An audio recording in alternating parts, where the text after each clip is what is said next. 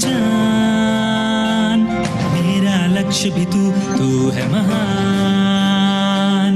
मेरी जान तू माँ, मेरी पहचान हो। मेरा लक्ष्य भी तू तू है महान। ओ मिलके एक साथ हम चलते चले। बढ़ते रहे सदा हम ना रुके। अपने लहू के हर एक कतरे को हम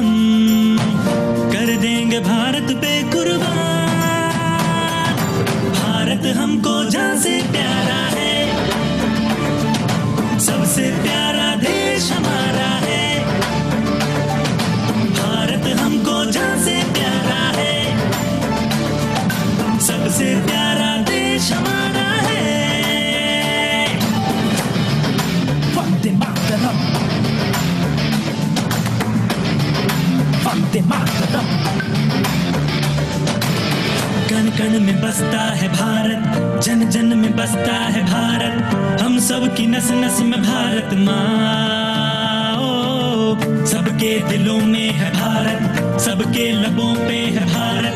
हम सब की नस नस में भारत माँ भारत हमको जहाँ से प्यारा है, सबसे प्यारा देश हमारा. भारत हमको जहाँ से प्यारा है Vande Mataram. सबसे प्यारा देश हमारा है Mataram.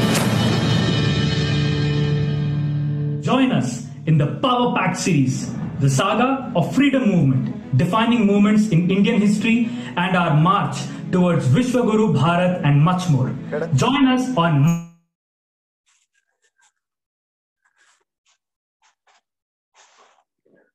ಎಲ್ಲರಿಗೂ ಇಂದಿನ ಕಾರ್ಯಕ್ರಮಕ್ಕೆ ಸ್ವಾಗತ, ಸುಸ್ವಾಗತ. ಈಗ ತಾನೇ ನಾವು ಒಂದು ಕ್ಯಾಂಪೇನ್ ವಿಡಿಯೋ ಅಂತ ನಾವೇನು ಮೈ ಭಾರತ್ ಕ್ಯಾಂಪೇನ್ ಮಾಡಿದೀವೋ ಅದನ್ನ ಕೇಳಿಸ್ಕೊಂಡಿದೀವಿ. ಸುಮಧುರವಾಗಿತ್ತು.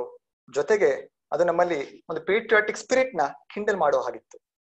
I hope you all like it so ಇಂದಿನ ಕಾರ್ಯಕ್ರಮ ಶುರು ಮಾಡಕ್ ಮುಂಚೆ ನಾವೆಲ್ಲರೂ ಮೈ ಭಾರತ್ ಹಾಗೂ ದಿಶಾ ಭಾರತ್ ಈ ಎರಡು ಹೆಸರುಗಳನ್ನ ತುಂಬಾ ಸರಿ ಕೇಳ್ತಾ ಇದೀವಿ.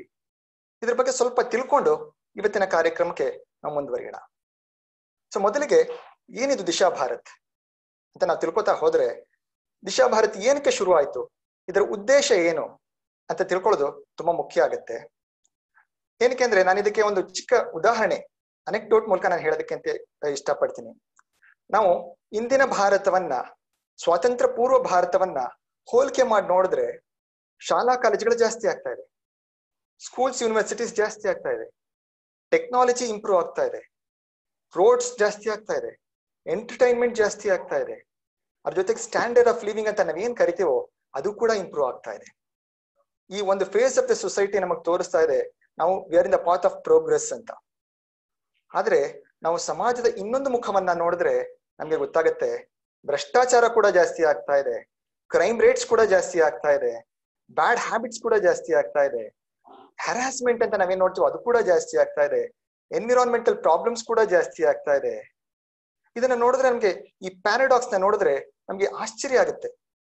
ಏನಕ್ಕೆ ಅಂದ್ರೆ ನಮ್ಮನ್ನ ನಾವು ವಿದ್ಯಾವಂತರು ಅಂತ ಕರಿತೀವಿ, ಆದ್ರೆ ಇನ್ನೊಂದು ಕಡೆಯಿಂದ ಸಾಮಾಜಿಕ ತೊಂದರೆಗಳು, ಪಿಡುಗುಗಳು ಕೂಡ ಜಾಸ್ತಿ ಆಗ್ತಿದೆಯಲ್ಲ. ಇದಕ್ಕೆ ಕಾರಣವನ್ನ ಏನು ಅಂತ ನಾವು ಹುಡುಕ್ತಾ ಹೋದಾಗ ನಮ್ಗೆ ಗೊತ್ತಾಗತ್ತೆ. ನಾವು ಇಂದಿನ ಶಿಕ್ಷಣ ಪದ್ಧತಿ ಎಜುಕೇಶನ್ ಸಿಸ್ಟಮ್ ಅಂತ ಏನ್ ಕರಿತೀವೋ, ಅದು it focuses on three Rs reading ಓದು ಓದು ಓದು. ರೈಟಿಂಗ್ ಬರೀ ಅರ್ಥಮೆಟಿಕ್ ಅರ್ಥಮೆಟಿಕ್ ಅಂದ್ರೆ ನಾನಿಲ್ಲಿ ಮ್ಯಾಥ್ಸ್ ಬಗ್ಗೆ ಮಾತಾಡ್ತಾ ಇಲ್ಲ. ನಾನ್ ಮಾತಾಡ್ತಾ ಇರೋದು ಮಾರ್ಕ್ಸ್ ಬಗ್ಗೆ. ಯಾಕೆಂದ್ರೆ ಯಾರಿಗಾರು ಐವತ್ ಪರ್ಸೆಂಟೇಜ್ ಬಂದ್ರೆ ಅವ್ರ ತಂದೆ ತಾಯಿ ಕೇಳ್ತಾರೆ, ನೋಡು, ಪಕ್ಕದ ಮನೆಯವರು ತೊಂಬತ್ ತೆಗೆದಿದ್ರೆ, ಅವ್ರ ಕಾಸಿನ ನುಗ್ಗು, ಅಂತ ಹೇಳ್ತಾರೆ. ಅಕಸ್ಮಾತ್ ನೈಂಟಿ ಪರ್ಸೆಂಟ್ ಬಂದಿದ್ರೆ ಅವ್ರು ಖುಷಿಯಾಗಿ ಎಂಜಾಯ್ ಮಾಡ್ತಾ ಇರ್ತಾರೆ, ಆದ್ರೆ ಪಕ್ಕದ ಮನೆಯವ್ರು ಬಂದು ನೈಂಟಿ ಫೈವ್ ಪರ್ಸೆಂಟ್ ಅಂತ ಹೇಳಿದ್ರೆ ಅವ್ರ ಎಲ್ಲ ಸೆಲೆಬ್ರೇಷನ್ ಸ್ಟಾಪ್ ಆಗೋಗುತ್ತೆ.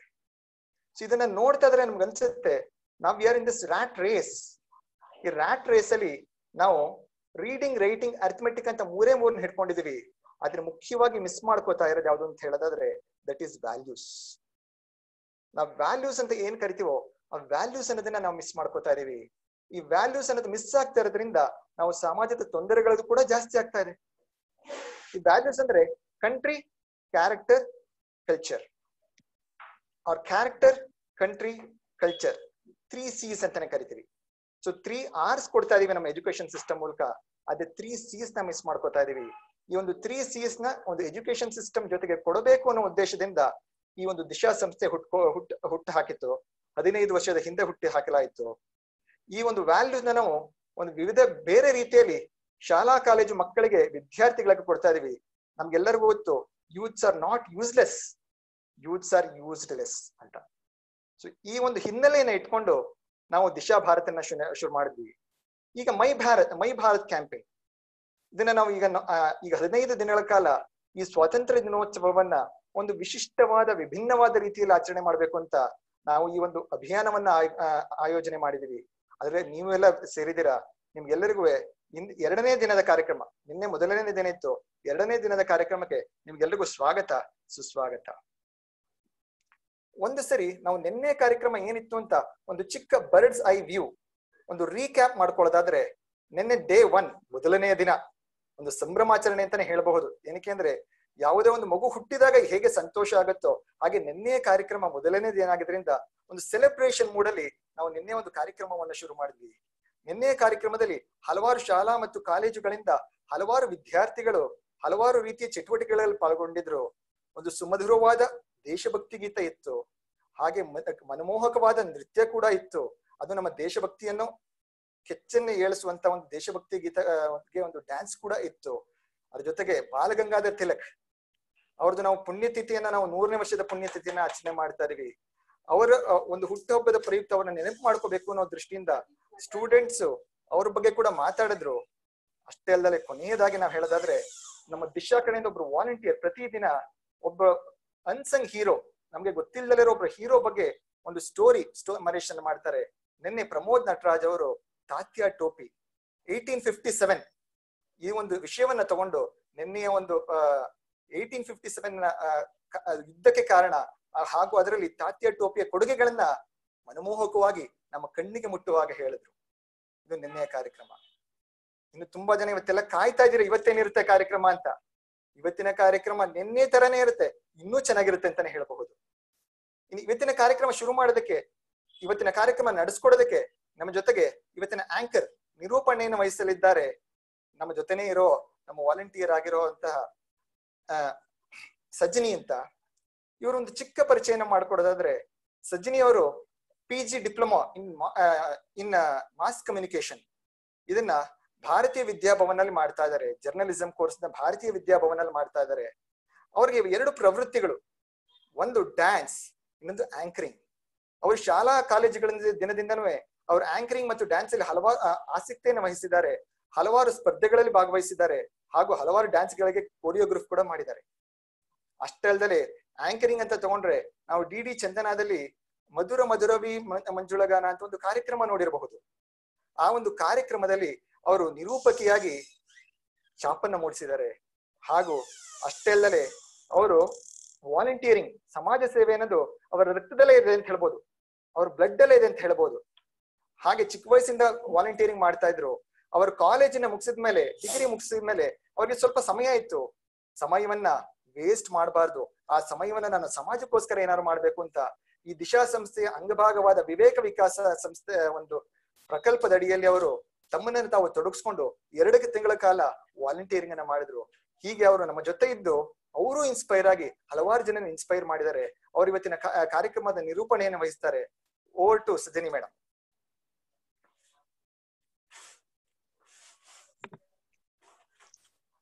ನಮಸ್ತೆ. A very warm welcome to all our patriotic viewers.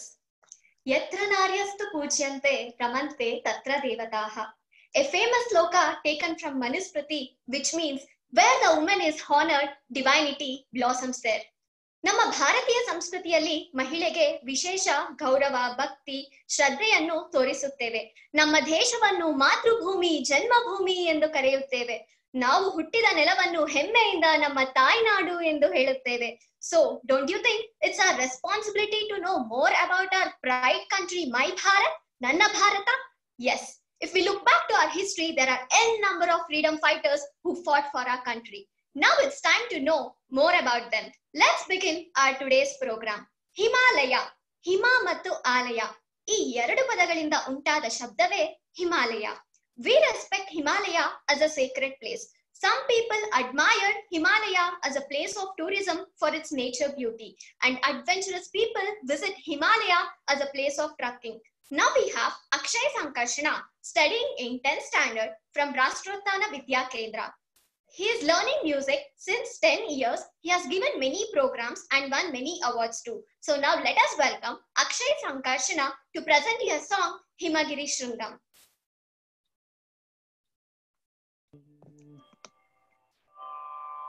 Namaste. Today I'll be presenting the song Himagiri Shringam Tungam. Let's enjoy. Hmm. Himgiri शृङ्गं उत्तुङ्गं भारतमातुः मणिमकुटम् Himgiri शृङ्गम् उत्तुङ्गं भारतमातुः मणिमकुटम् Ganga Yamuna, Sindhu Saraswati. Ganga Yamuna, Sindhu Saraswati. प्रवहती मातुर हृदय तटम। प्रवहति मातुः हृदय तटम। हिमगिरिशृङ्गम् उत्तुङ्गम्। भारतमातुः मणिमकुटम्।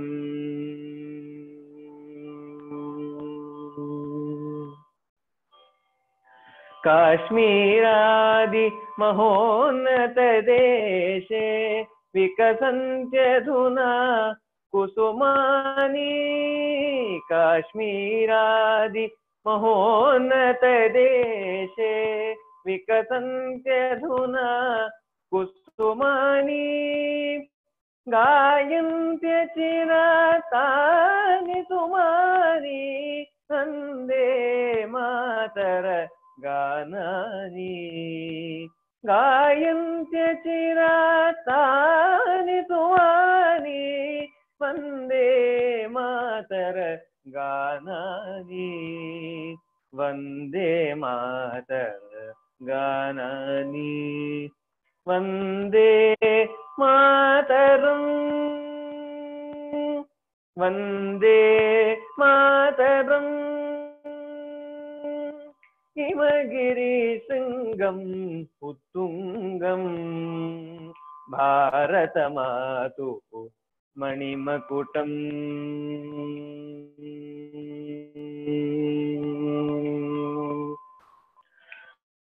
आरभवङ्ग महोदधिनायुत इन्दुसमुद्रो स्तौति चिरं ताम् अरभवङ्ग महोदधिनायुत इन्दुसमुद्रो स्तौति चिरं तस्य तरङ्ग करेण हारेण अर्चते मम भारतमाता। तस्य तरङ्ग किरेण हारेण अर्चते मम भारतमाता। अर्चते मम भारत माता हिमगिरिशृङ्गम् उत्तुङ्गम्।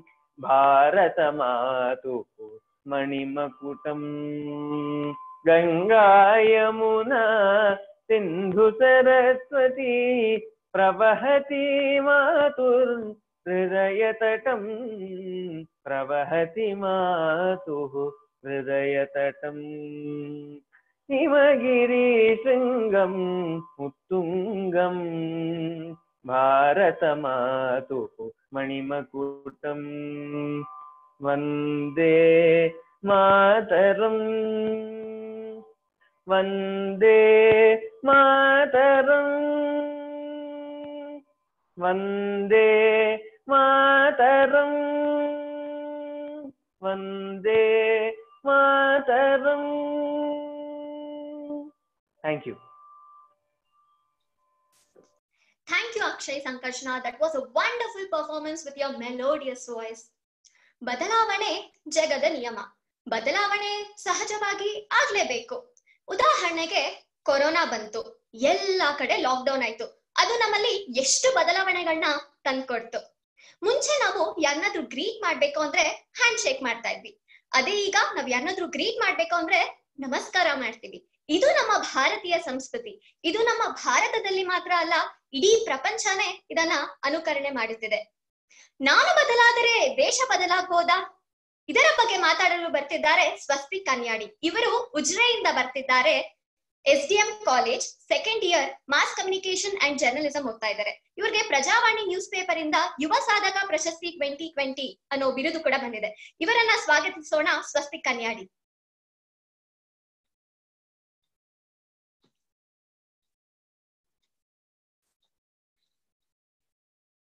ಸ್ವಸ್ತಿ ಕನ್ಯಾಡಿ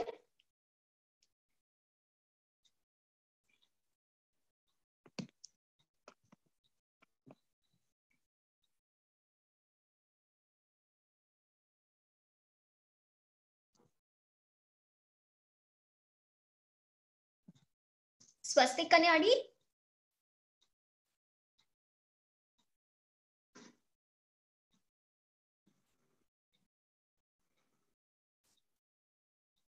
ಓಕೆ ಅವ್ರಿಗೆ ಮೇ ಬಿ ನೆಟ್ವರ್ಕ್ ಇಶ್ಯೂ ಆಗಿರ್ಬೋದು. ನಮ್ಮ ಮುಂದಿನ ಕಾರ್ಯಕ್ರಮಕ್ಕೆ ಹೋಗೋಣ. ನಮ್ಮ ದೇಶದಲ್ಲಿ ಹಲವಾರು ವೀರ ವನಿತೆಯರು ಇದ್ದಾರೆ, ಅಲ್ವಾ? Woman freedom fighter who is known for her courage and bravery that is none other than Kittur Rani Chennamma ಹೌದು. ಇವರ ಬಗ್ಗೆ ಹೇಳಲು ಬರ್ತಿದ್ದಾರೆ Vinay Kumar. Is an engineer by profession he's from Shivamogga. ಇವರು is recognised as a youth speaker ಆಮೇಲೆ ಇವರು ತುಂಬಾ ಮಕ್ಕಳಿಗೆ ಟ್ರೈನಿಂಗ್ ಅನ್ನ ಕೊಡ್ತಾ ಇರ್ತಾರೆ. ಸೊ ಇವನ ಸ್ವಾಗತಿಸೋಣ ವಿನಯ್ ಕುಮಾರ್.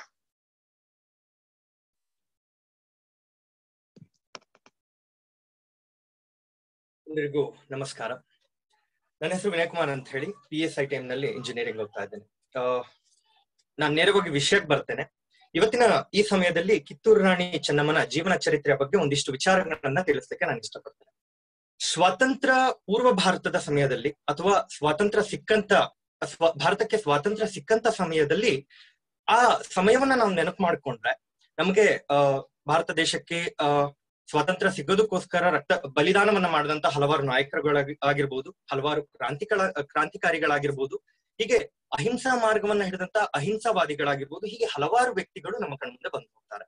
ಹಾಗೇನೆ ಕೇವಲ ಪುರುಷರಷ್ಟೇ ಅಂತ ಅಲ್ಲ ಹಾಗೆ ವೀರ ವನಿತೆಯರು ಈಗಾಗಲೇ ಹೇಳಿದಾಗೆ ಹಲವಾರು ವೀರ ವನಿತೆಯರು ಕೂಡ ಭಾರತ ದೇಶದ ಸ್ವತಂತ್ರಕ್ಕಾಗಿ ಹಲ ಹಲವಾರು ರೀತಿಯಲ್ಲಿ ಶ್ರಮಿಸಿದ್ದಾರೆ. ಈ ಒಂದು ಸಾಲಿನಲ್ಲಿ ನಮ್ಮ ಕಿತ್ತೂರು ರಾಣಿ ಚೆನ್ನಮ್ಮ ಅವರು ಕೂಡ ಬರ್ತಾರೆ.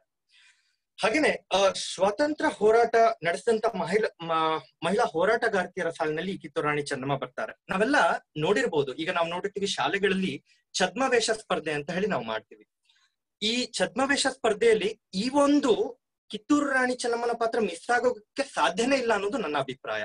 ನಾವು ನೋಡಿರ್ಬೋದು ಒಂದು ಚಿಕ್ಕ ಮಗು ಅಷ್ಟು ಸುಂದರವಾಗಿ ಕಚ್ಚೆ ಸೀರೆಯನ್ನ ಉಟ್ಕೊಂಡು ಕೈಯಲ್ಲಿ ಒಂದು ಕತ್ತಿಯನ್ನ ಹಿಡ್ಕೊಂಡು ಹೇಳುತ್ತೆ, ಕಪ್ಪ ಕೊಡಬೇಕೆ ಕಪ್ಪ?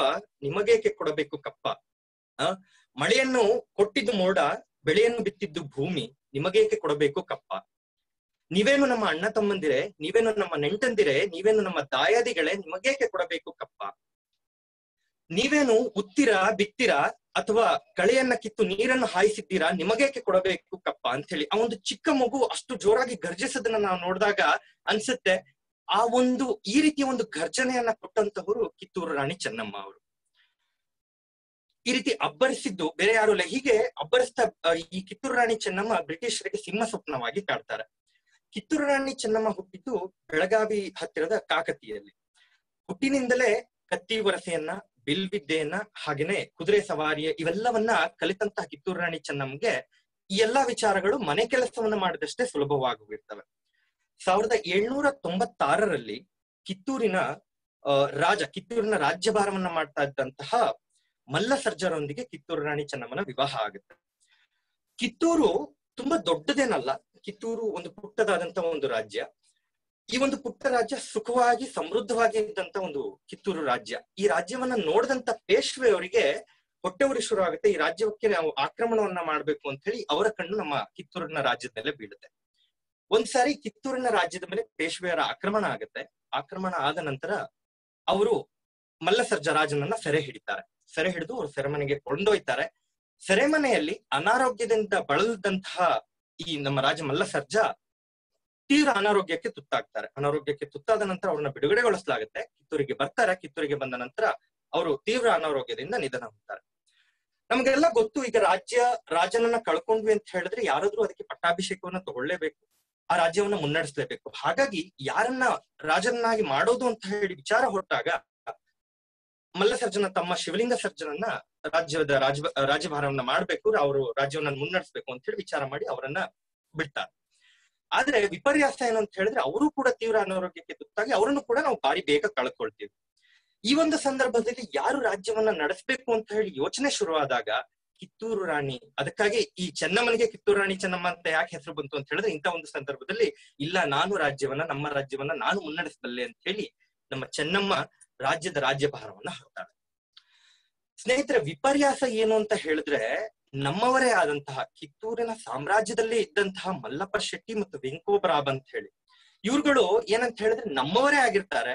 ನಮ್ಮವರೇ ಆಗಿದ್ದು ಕೂಡ ನಮ್ಮ ನಮ್ಮ ಒಳಗಿನ ನಮ್ಮ ಎಲ್ಲ ಕಿತ್ತೂರಿನ ವಿಚಾರಗಳನ್ನ, ಕಿತ್ತೂರಿನ ಎಲ್ಲ ಒಳಗುಟ್ಟುಗಳನ್ನ ಬ್ರಿಟಿಷರಿಗೆ ಬಿಟ್ಕೊಡ್ತಾ ಹೋಗ್ತಾರೆ.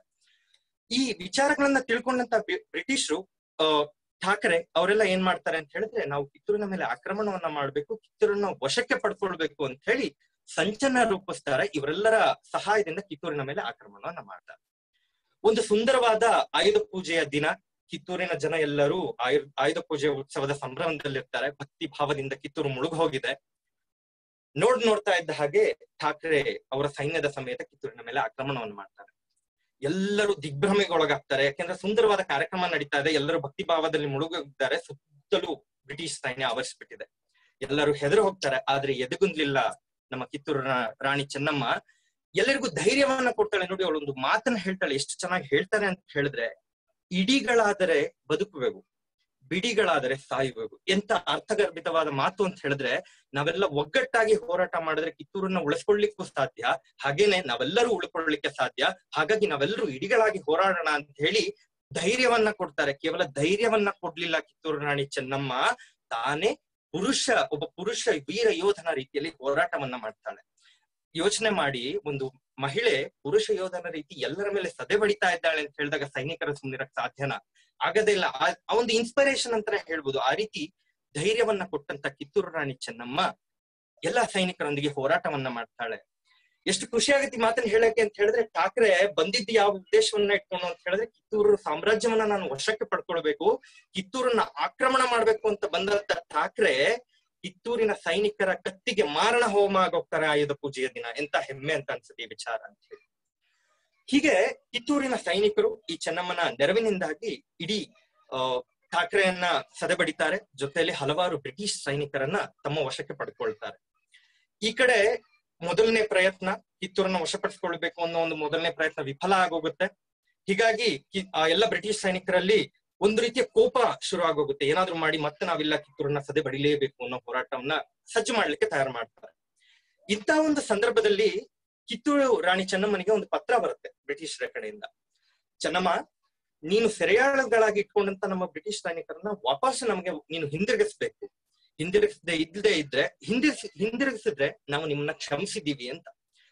ಧೀರ ಮಹಿಳೆ ದಿಟ್ಟವಾಗಿ ಉತ್ತರ ಕೊಡ್ತಾಳೆ, ಯಾವ ರೀತಿಯ ಒಂದು ಸುಂದರವಾದ ಉತ್ತರವನ್ನ ಕೊಡ್ತಾಳೆ ಅಂತ ಹೇಳಿದ್ರೆ, ಕಿತ್ತೂರಿನ ಸಾಮ್ರಾಜ್ಯದ ಮೇಲೆ ಮತ್ತೊಮ್ಮೆ ಕಣ್ಣು ಹಾಕೋದಿಲ್ಲ ಅಂತ ಹೇಳಿದ್ರೆ, ನಮ್ಮ ಸವಾಸಕ್ಕೆ ಮತ್ತೆ ಬರುವುದಿಲ್ಲ ಅಂತ ಹೇಳಿದ್ರೆ ಮಾತ್ರ ನಾನು ನಿಮ್ಮ ಸೈನಿಕರನ್ನ ಬಿಟ್ಕೊಡ್ತೇನೆ. ಇಲ್ಲ ಅಂದ್ರೆ ಬಿಟ್ಟುಕೊಡೋದಿಲ್ಲ ಅಂತ ಹೇಳಿ ಧೀರ ಮಹಿಳೆ ಉತ್ತರವನ್ನ ಕೊಡ್ತಾಳೆ. ಇದು ಒಂಥರ ಹೆಂಗಾಗೋಯ್ತು ಅಂತ ಹೇಳಿದ್ರೆ, ಆಂಗ್ಲರಿಗೆ ಉರಿಯೋ ಬೆಂಕಿಗೆ ತುಂ, ತುಪ್ಪ ಸುರಿಯೋದು ಅಂತ ನಾವ್ ಹೇಳ್ತೀವಿ. ಮೊದ್ಲೇ ಕೋಪ ಇದೆ, ಯಾಕಂದ್ರೆ ಮೊದಲನೇ ಪ್ರಯತ್ನದಲ್ಲಿ ನಾವು ಸೋತಿದ್ದೀವಿ ಆದ್ರೆ ಈಗ ಇನ್ನೊಂದು ಪ್ರಯತ್ನವನ್ನ ಮಾಡ್ಬೇಕು ಅನ್ನೋ ಸಂದರ್ಭದಲ್ಲಿ ಈ ರೀತಿಯ ಒಂದು ಉತ್ತರವನ್ನ ಕೊಡ್ತಾಳೆ ಅಂತ ಹೇಳಿ ಉರಿಯೋ ಬೆಂಕಿಗೆ ತುಪ್ಪ ಸುರಿದ ಹಾಗಾಗುತ್ತೆ. ವಿಪರ್ಯಾಸ ಅಂತ ಹೇಳಿದ್ರೆ ನಾನು ಆಗ್ಲೇನೆ ಹೇಳ್ದೆ, ನಮ್ಮವರ ರೀತಿಯಲ್ಲೇ ಇದ್ದುಕೊಂಡಂತ ಕಿತ್ತೂರಿನ ಕೆಲವು ವ್ಯಕ್ತಿಗಳು ಈ ರೀತಿ ಬ್ರಿಟಿಷರಿಗೆ ಸಹಾಯವನ್ನ ಮಾಡಿದ್ರು ಅಂತ ಹೇಳಿ. ವಿಪರ್ಯಾಸ ಆಗಿದ್ದೇ ಇದು ಕಿತ್ತೂರಿನ ವಿಷಯದಲ್ಲಿ. ಹಾಗೇನೆ ಹೇಳ್ಬೇಕು ಅಂತ ಹೇಳಿದ್ರೆ ರಾಣಿ ಚೆನ್ನಮ್ಮನಿಗೆ ಯುದ್ಧ ಇಷ್ಟ ಇರಲಿಲ್ಲ. ಈ ರೀತಿ ಉತ್ತರವನ್ನ ಕೊಟ್ಟಂತ ಕಿತ್ತೂರು ರಾಣಿ ಚೆನ್ನಮ್ಮ ಸಂಧಾನಕ್ಕೆ ಪ್ರಯತ್ನವನ್ನ ಮಾಡ್ತಾಳೆ. ಆದ್ರೆ ನಮ್ಮವರೇ ಅಂತ ಅಂದುಕೊಂಡಂತಹ ಕಿತ್ತೂರಿನ ಹಲವಾರು ವ್ಯಕ್ತಿಗಳು ಬ್ರಿಟಿಷರಿಗೆ ನಾವು ನಿಮ್ಗೆ ಸಹಾಯವನ್ನ ಮಾಡ್ತೇವೆ. ನಾವು ನಿಮ್ಮ ಆಕ್ರಮಣಕ್ಕೆ ಸಹಾಯವನ್ನ ಮಾಡ್ತೇವೆ ಅಂತ ಹೇಳಿ ಎಲ್ಲ ಕಿತ್ತೂರಿನ ಒಳಗುಟ್ಟುಗಳನ್ನ ಬಿಟ್ಕೊಟ್ಟು ಬ್ರಿಟಿಷರಿಗೆ ಸಹಾಯವನ್ನ ಮಾಡಿದ್ರಿಂದ ಮತ್ತೊಮ್ಮೆ ಆಂಗ್ಲರೆಲ್ಲರೂ ಕಿತ್ತೂರಿಗೆ ಆಕ್ರಮಣವನ್ನ ಮಾಡ್ತಾರೆ. ಆಕ್ರಮಣವನ್ನ ಮಾಡಿದಾಗ ಸುತ್ತ, ಕೋಟೆಯ ಸುತ್ತ ಸುತ್ತುವರೆದಂತಹ ಬ್ರಿಟಿಷ್ ಸೈನ್ಯ ಚೆನ್ನಮ್ಮನನ್ನ ಸೆರೆ ಹಿಡಿಯಲಾಗುತ್ತೆ. ಸೆರೆ ಹಿಡಿದಂತಹ ಸೈನ್ಯ ಚೆನ್ನಮ್ಮನನ್ನ ಸೆರೆಮನೆಗೆ ಕರ್ಕೊಂಡು ಹೋಗುತ್ತೆ. ಸೆರೆಮನೆಯಲ್ಲಿ ನಾಲ್ಕು ವರ್ಷಗಳ ಕಾಲ ಸೆರೆಮನೆಯ ವಾಸವನ್ನ ಅನುಭವಿಸಿದ್ದಂತಹ ಕಿತ್ತೂರು ರಾಣಿ ಚೆನ್ನಮ್ಮ ಕೊನೆಯಲ್ಲಿ ಸೆರೆಮನೆಯಲ್ಲಿಯೇ ತನ್ನ ಪ್ರಾಣವನ್ನ ಭಾರತ ಮಾತೆಗೆ ಅರ್ಪಣೆ ಮಾಡ್ತಾಳೆ. ಹೀಗೆ ಒಬ್ಬ ಧೀರ ಸ್ನೇಹಿತರೆ, ನಮ್ಮ ವಿಚಾರಗಳು ಹೇಗಿರ್ಬೇಕು ಅಂತ ಹೇಳಿದ್ರೆ ದೇಶ ನನಗೇನು ಕೊಡ್ತಿದೆ ಅಂತ ಹೇಳಿ ನಾವು ಯೋಚನೆ ಮಾಡೋದಕ್ಕಿಂತ ಅದಕ್ಕೆ ನಾವ್ ಏನನ್ನ ಕೊಡಬಹುದು ಅನ್ನೋ ನಿಟ್ಟಿನಲ್ಲಿ ನಾವು ವಿಚಾರ ಮಾಡ್ಬೇಕು ಅನ್ನೋದು ನನ್ನ ಅಭಿಪ್ರಾಯ. ಯಾಕೆ ಅಂತ ಹೇಳಿದ್ರೆ, ಈ ಒಂದು ದೇಶ ಇವತ್ತು ಇರೋದಕ್ಕೆ ವಸತಿಯನ್ನಾಗಿರ್ಬೋದು, ಮೂಲಭೂತ ಸೌಕರ್ಯಗಳನ್ನಾಗಿರ್ಬೋದು, ಈ ಎಲ್ಲ ಅವಶ್ಯಕತೆಗಳನ್ನ ನಮ್ಮ ದೇಶ ನಮ್ಗೆ ಕೊಟ್ಟಿದೆ. ಅಂತ ದೇಶಕ್ಕೆ ನಾವೇನಾದ್ರೂ ಮಾಡಿದೀವಿ ಅನ್ನೋದಕ್ಕೆ ಬೇಕಲ್ಲ. ಆ ನಿಟ್ಟಿನಲ್ಲಿ ನಾವೆಲ್ಲರೂ ಯೋಚನೆ ಮಾಡೋಣ ಅಂತ ಹೇಳ್ತಾ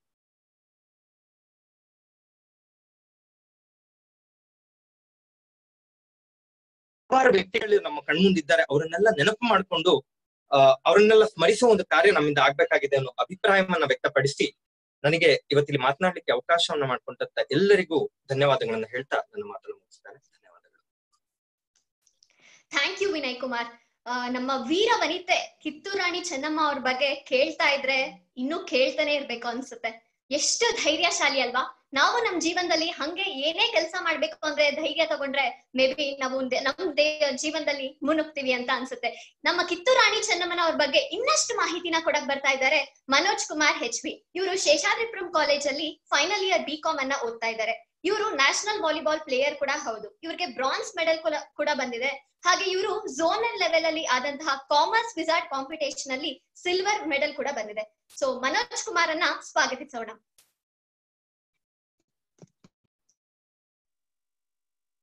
ನಮಸ್ತೆ ಎಲ್ಲರಿಗೂ. ಗುಡ್ ಮಾರ್ನಿಂಗ್ ನನ್ನ ನನ್ನ ಹೆಸರು Manoj Kumar. I am today forward standing before you to narrate a small story about the great and the first female freedom fighter of India let me start with a small place a small place in the district of Belagavi that is the Bailhongal fort a dark room with just one window where the ray of the sun fell into the room.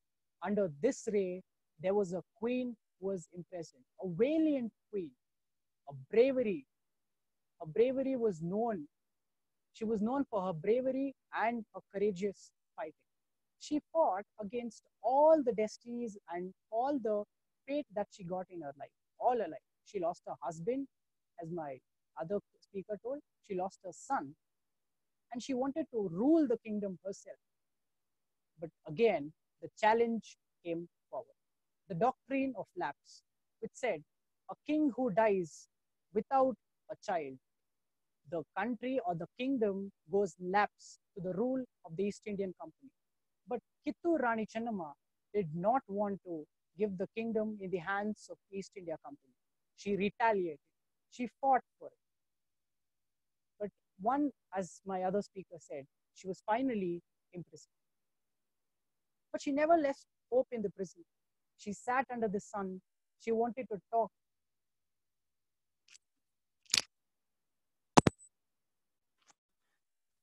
She never left hope.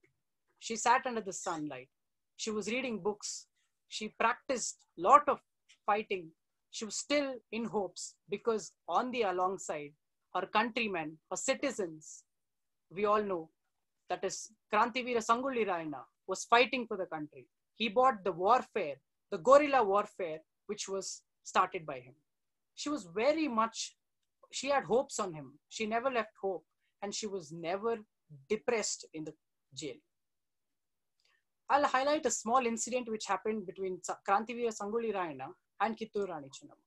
Once there was an emergency situation where they had to fight the war, which was called off by the Britishers. To be more specific, I would like to tell it in Kannada. So when it was the emergency situation, Krantivira Sanguli Raina says, I will take up this, I will lead the army and I will chop all the heads of the Britishers and come before you. He says, he promises that I promise you, I will chop all the thousand heads of the Britishers and put it before your feet, Mate. But in a matter of doubt, Kittur Rani Chennamma asks him, What if your number thousand falls short by even one number? But Krantivira Sanguli Rayana says, if at all the number was, if the number falls short by just one number, you can take my head. I will give you my life to make it thousand. So this was the relationship between Kittur Rani Channamma and Krantivira Sangoli Rayana, where she trusted him so much for the army. Even the Britishers knew you can never break the trust, you can never break their. Though she was in the jail and they were outside, the bond was so strong that nobody could break it. For this, the Britishers used their brains. They used people of their own kingdom, people of their own countrymen, and betrayed. They made a scam. They told Kittur Rani a man comes running inside the jail, one of the trusted men of the kingdom who used to give all the news about what's happening outside the jail, comes running to the jail one day where she was imprisoned. Kittur Rani is sitting there on a chair under the light reading a book. He comes running. He said, Mate, we lost, we lost the precious stone of our kingdom. She said, What happened? He says, We lost the bravest and the best freedom fighter for our kingdom. We lost Krantivira Sanguli Rayana. But this was not true. But the bond which Kittur Rani Sh- Channamma shared with Krantivira Sanguli Rayana was like this. As soon as she heard the news, she lost hopes. She lost hopes against the kingdom. She lost hopes against everybody. She was depressed. She was distressed. In all of this, all the hopes came down. And then, with the stone of a diamond ring which she had, she gave away her life. So, listening to this, Krantivira Sanguli Rayana, again, he was also betrayed by another insider of the kingdom and he was also hanged. But we shouldn't take this as a defeat of Rani Channamma. But this was not a defeat. From this day, three aspects of life came into light Kartrutva, Netritva, Matritva. Her own identity, her the leadership, and the motherhood, which we need to take in in today's life, where women should be given their own identity. Women should be given a chance for leadership, and women should are the best for motherhood. They're known for the motherhood, not for the mother. She never had the motherhood to her towards her son. She had the motherhood towards her country people, the fellow men, the fellow citizens of her country. So that was Kittur Rani Channamma. Thank you, guys. Thank you Manoj Kumar ನಮ್ ಕಿತ್ತೂರ್ ರಾಣಿ ಚೆನ್ನಮ್ಮ ಅವ್ರ ಬಗ್ಗೆ ಕೇಳ್ತಾ ಇದ್ರೆ ಎಷ್ಟು ಕೇಳಿದ್ರು ಕಮ್ಮಿನೇ ಅಲ್ವಾ never loose ಯರ್ hope ನಮ್ ಜೀವನದಲ್ಲೂ ನಾವ್ ಎಷ್ಟೇ ಕಷ್ಟ ಬಂದ್ರು ಕೂಡ ನಾವು ಹೋಪ್ನ ಕಳ್ಕೋಬಾರ್ದು ಆಗ್ಲೇ ಹೇಳ್ದಂಗೆ ನಾನು ಬದಲಾದ್ರೆ ದೇಶ ಬದಲಾಗಬಹುದಾ ಇದರ ಬಗ್ಗೆ ಮಾತಾಡಲು ಬರ್ತಿದ್ದಾರೆ ಸ್ವಸ್ತಿ ಕನ್ಯಾಡಿ. ಇವರು ಉಜ್ರೆಯಿಂದ ಬರ್ತಿದ್ದಾರೆ ಎಸ್ ಡಿ ಎಂ ಕಾಲೇಜ್ ಅವರನ್ನ ಸ್ವಾಗತಿಸೋಣ.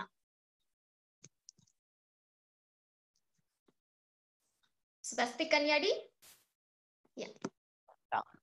ನಾಭಿಷೇಕೋನ ಸಂಸ್ಕಾರ ಕ್ರಿಯತೆ ಸಿಂಹ ಮೃಗೆ ವಿಕ್ರಮಾರ್ಜುನ ವಿತ್ತಸ್ಯ ಸ್ವಯಂ ಸ್ವಯಂಮೇವ ಮೃಗೇಂದ್ರತ ನನ್ನೆಲ್ಲ ಆತ್ಮೀಯ ಸ್ನೇಹಿತರಿಗೆ ವಂದಿಸುತ್ತಾ ನಾನು ಬದಲಾದ್ರೆ ದೇಶ ಹೇಗ್ ಬದಲಾಗಬಹುದು ಅನ್ನುವಂತ ಪ್ರಶ್ನೆ ಬಹಳಷ್ಟು ಸಲ ನಮ್ಮನ್ನ ಕಾಡ್ತಲೇ ಇರತ್ತೆ. ಈ ಪ್ರಶ್ನೆ ಬಂದಾಗ್ಲೆಲ್ಲ ನನಗೊಂದು ಕತೆ ನೆನಪಿಗೆ ಬರುತ್ತೆ. ಆ ಕತೆ ಏನಪ್ಪಾ ಅಂತ ಹೇಳಿದ್ರೆ ಒಬ್ಬ ವ್ಯಕ್ತಿ ಇರ್ತಾನೆ, ಆತ ಬಾಲ್ಯದಲ್ಲಿ ಅಂದ್ಕೊಳ್ತಾನೆ, ಏನು ಅಂತ ಹೇಳಿದ್ರೆ ನಾನು ಜೀವನದಲ್ಲಿ ಏನಾದ್ರೂ ಒಬ್ಬ ಜಗತ್ತನ್ನ ಬದಲಾಯಿಸಬೇಕು ಅಂತ ಹೇಳಿ ಅಂದ್ಕೊಳ್ ಅಂದ್ಕೊಳ್ತಾನೆ. ಆ ಜಗತ್ತನ್ನ ಬದಲಾಯಿಸಬೇಕು ಅಂತ ಅಂದ್ಕೊಂಡು ಆತ ಹೊರಟವನು ಆತನಿಗೆ ಒಂದ್ ಒಂದಷ್ಟು ಸಮಯದ ಬಳಿಕ ಗೊತ್ತಾಗುತ್ತೆ ಜಗತ್ತು ಬಹಳ ವಿಶಾಲವಾಗಿದೆ, ಅದನ್ನು ಬದಲಾಯಿಸೋದಕ್ಕೆ ಸಾಧ್ಯ ಇಲ್ಲ.